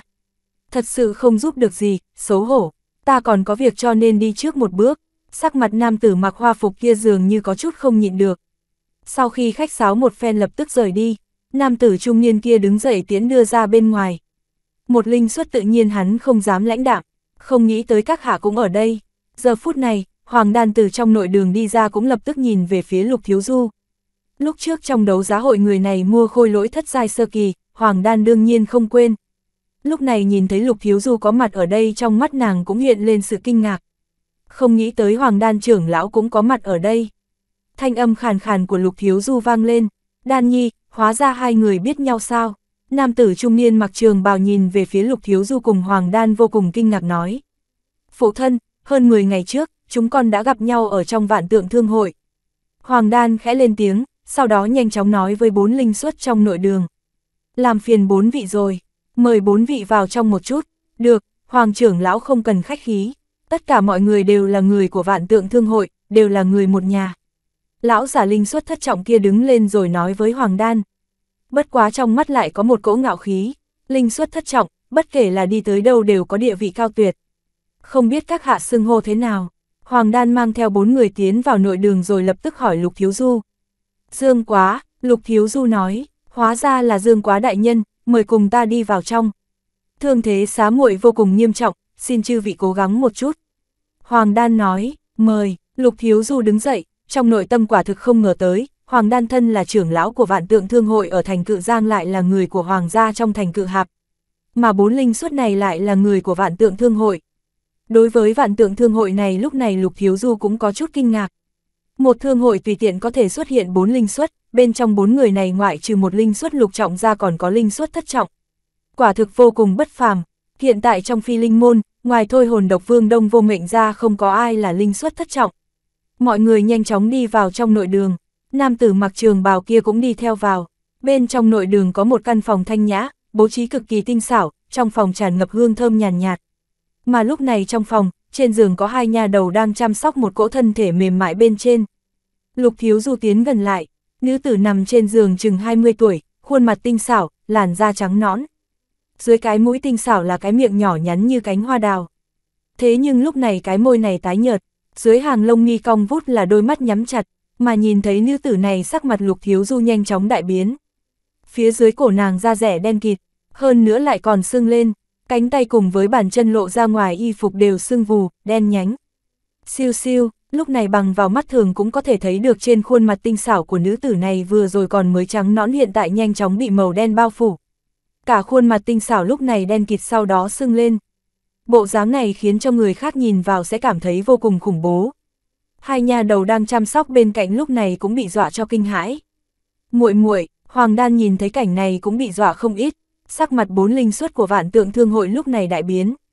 Sau đó lập tức tra, linh suất thất trọng kia trong tay còn cầm một chiếc kim châm, chậm rãi châm vào trong móng tay đen kịt của thiếu nữ này. Chư vị trưởng lão, tiểu nữ thế nào rồi? Lúc này sắc mặt nam tử trung niên cực kỳ lo lắng. Thanh âm mang theo sự mong chờ hỏi mấy linh suất này. Sắc mặt của mấy linh xuất vạn tượng thương hội tức thì ngưng trọng. Sau khi kiểm tra một phen, sắc mặt càng thêm ngưng trọng.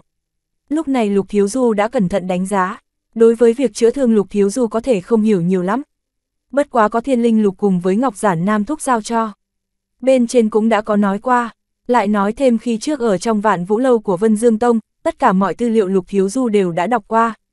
Cho nên hiện tại có thể nói hiểu biết của Lục Thiếu Du về vấn đề này cực kỳ rộng lớn. Bốn vị trưởng lão, thương thế của xá muội thế nào rồi? Có thể cứu được không? Một lát sau Hoàng Đan sốt ruột hỏi. Hoàng trưởng lão, thương thế của lệnh muội có chút giống như chúng kịch độc. Thế nhưng loại độc này vô cùng quỷ dị, hiện tại trước mắt chúng ta cũng không có cách nào. Có lẽ chúng ta phải nghiên cứu mấy ngày có thể nghĩ ra biện pháp cũng không nhất định. Linh suất thất trọng kia nhìn qua thiếu nữ trên giường rồi thở dài nói. Sau khi kiểm tra một phen bọn họ cũng không tìm được biện pháp gì. Độc này quả thực vô cùng quỷ dị, bất quá nếu chờ các ngươi nghiên cứu mấy ngày thì người đã chết. Các ngươi cũng chỉ còn nước nghiên cứu thi thể mà thôi. Khi linh suất thất trọng kia nói xong, thanh âm khàn khàn của lục thiếu du vang lên. Nói như vậy chẳng lẽ các hạ có thể chữa trị được hay sao? chương 1099, Thị huyết linh phong 1. Chuyện được thực hiện bởi obookaudio.com Nghe Lục Thiếu Du nói vậy, bốn linh suất của vạn tượng thương hội dùng ánh mắt không mấy hữu hảo nhìn về phía Lục Thiếu Du. Ánh mắt linh suất thất trọng kia mang theo hàn ý nhìn vào trên người Lục Thiếu Du. Không nắm chắc trăm phần trăm thế nhưng có sáu thành nắm chắc. Tình huống Hoàng Tiểu Thư bây giờ có chút phiền phức, có lẽ trong một canh giờ nữa nếu không có biện pháp thì Hoàng Tiểu Thư sẽ. Lục Thiếu Du nói, Dương quá đại nhân, xin ngài nhanh chóng ra tay cứu xá muội, tiểu nữ vô cùng cảm kích. Hoàng đan nhanh chóng xoay người thi lễ rồi cầu khẩn Lục Thiếu Du. Dương quá tiên sinh, xin mau ra tay cứu tiểu nữ. Nam tử trung niên lúc này cũng nhanh chóng cầu khẩn Lục Thiếu Du, ánh mắt vô cùng lo lắng. Muốn ta ra tay không khó, bất quá. Ánh mắt Lục Thiếu Du khẽ đổi rồi nói, dường như có chút khó xử. Dương quá tiên sinh, chỉ cần ngươi ra tay, hoàng gia ta sẽ không bạc đãi ngươi. Một bộ linh kỹ huyền cấp sơ giai nếu như không đủ thì... Nam tử trung niên cắn răng một cái rồi nói tiếp, vậy thì hai bộ linh kỹ huyền cấp sơ giai, đây đã là tất cả linh kỹ mà hoàng gia ta có, thứ quý trọng hơn hoàng gia ta cũng không còn nữa. Lục thiếu du khẽ lắc đầu, lập tức nói, hoàng gia chủ, cũng không phải là vấn đề này, Y ta là lúc này cứu chữa hoàng tiểu thư đã muộn, thứ nhất ngay cả ta cũng không nắm chắc tuyệt đối, thứ hai quả thực có chút không tiện. Dương quá đại nhân, chuyện chữa thương này đương nhiên không thể nắm chắc toàn bộ. Chỉ cần Dương quá đại nhân ra tay cũng đã được rồi. Nếu như hai bộ linh kỹ huyền cấp không đủ, chỉ cần Dương quá đại nhân ra tay cứu xá muội một mạng. Tiểu nữ nguyện từ nay về sau đi theo bên người Dương quá đại nhân, làm nô tỳ cũng không hề có một câu oán hận. Cho dù làm thị thiếp tiểu nữ cũng cam lòng, trong đôi mắt xinh đẹp của Hoàng Đan hiện lên sự cầu khẩn. Vì cứu muội muội cái gì nàng cũng có thể đáp ứng. Lục thiếu du sướng sờ không nghĩ tới Hoàng Đan ngay cả cái này cũng nói ra. Ánh mắt hắn nhìn Hoàng Đan lúc này đã khác trước, việc làm của nàng không phải nữ tử bình thường nào cũng có thể làm được. Hừ, ta thấy các hạ không có bổn sự này a.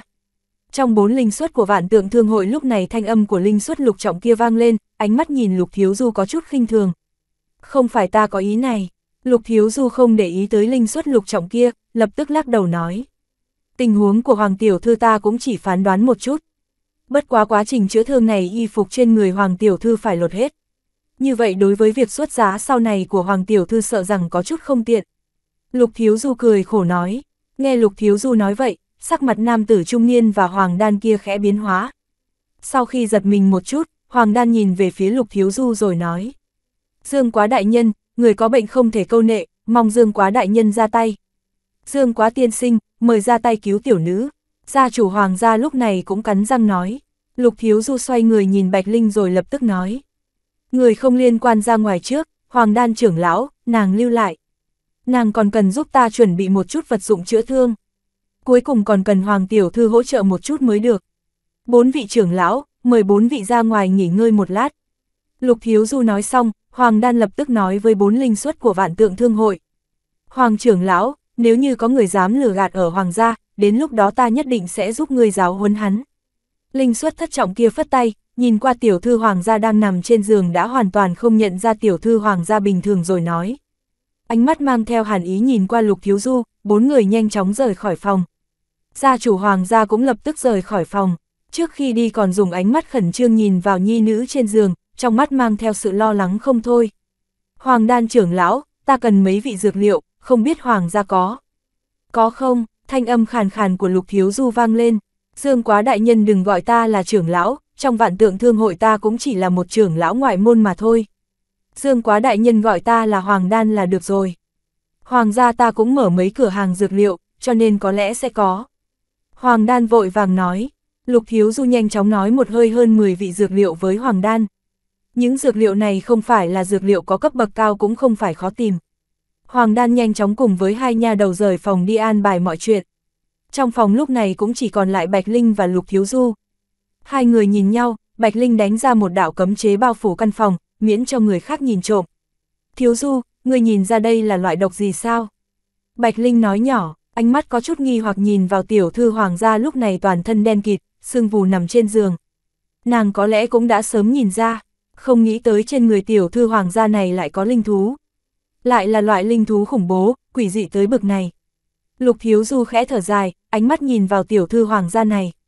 Lúc này nữ tử xinh đẹp này khiến cho lục thiếu du nhớ tới một người kiếp trước, chính là đoạt mệnh thư sinh.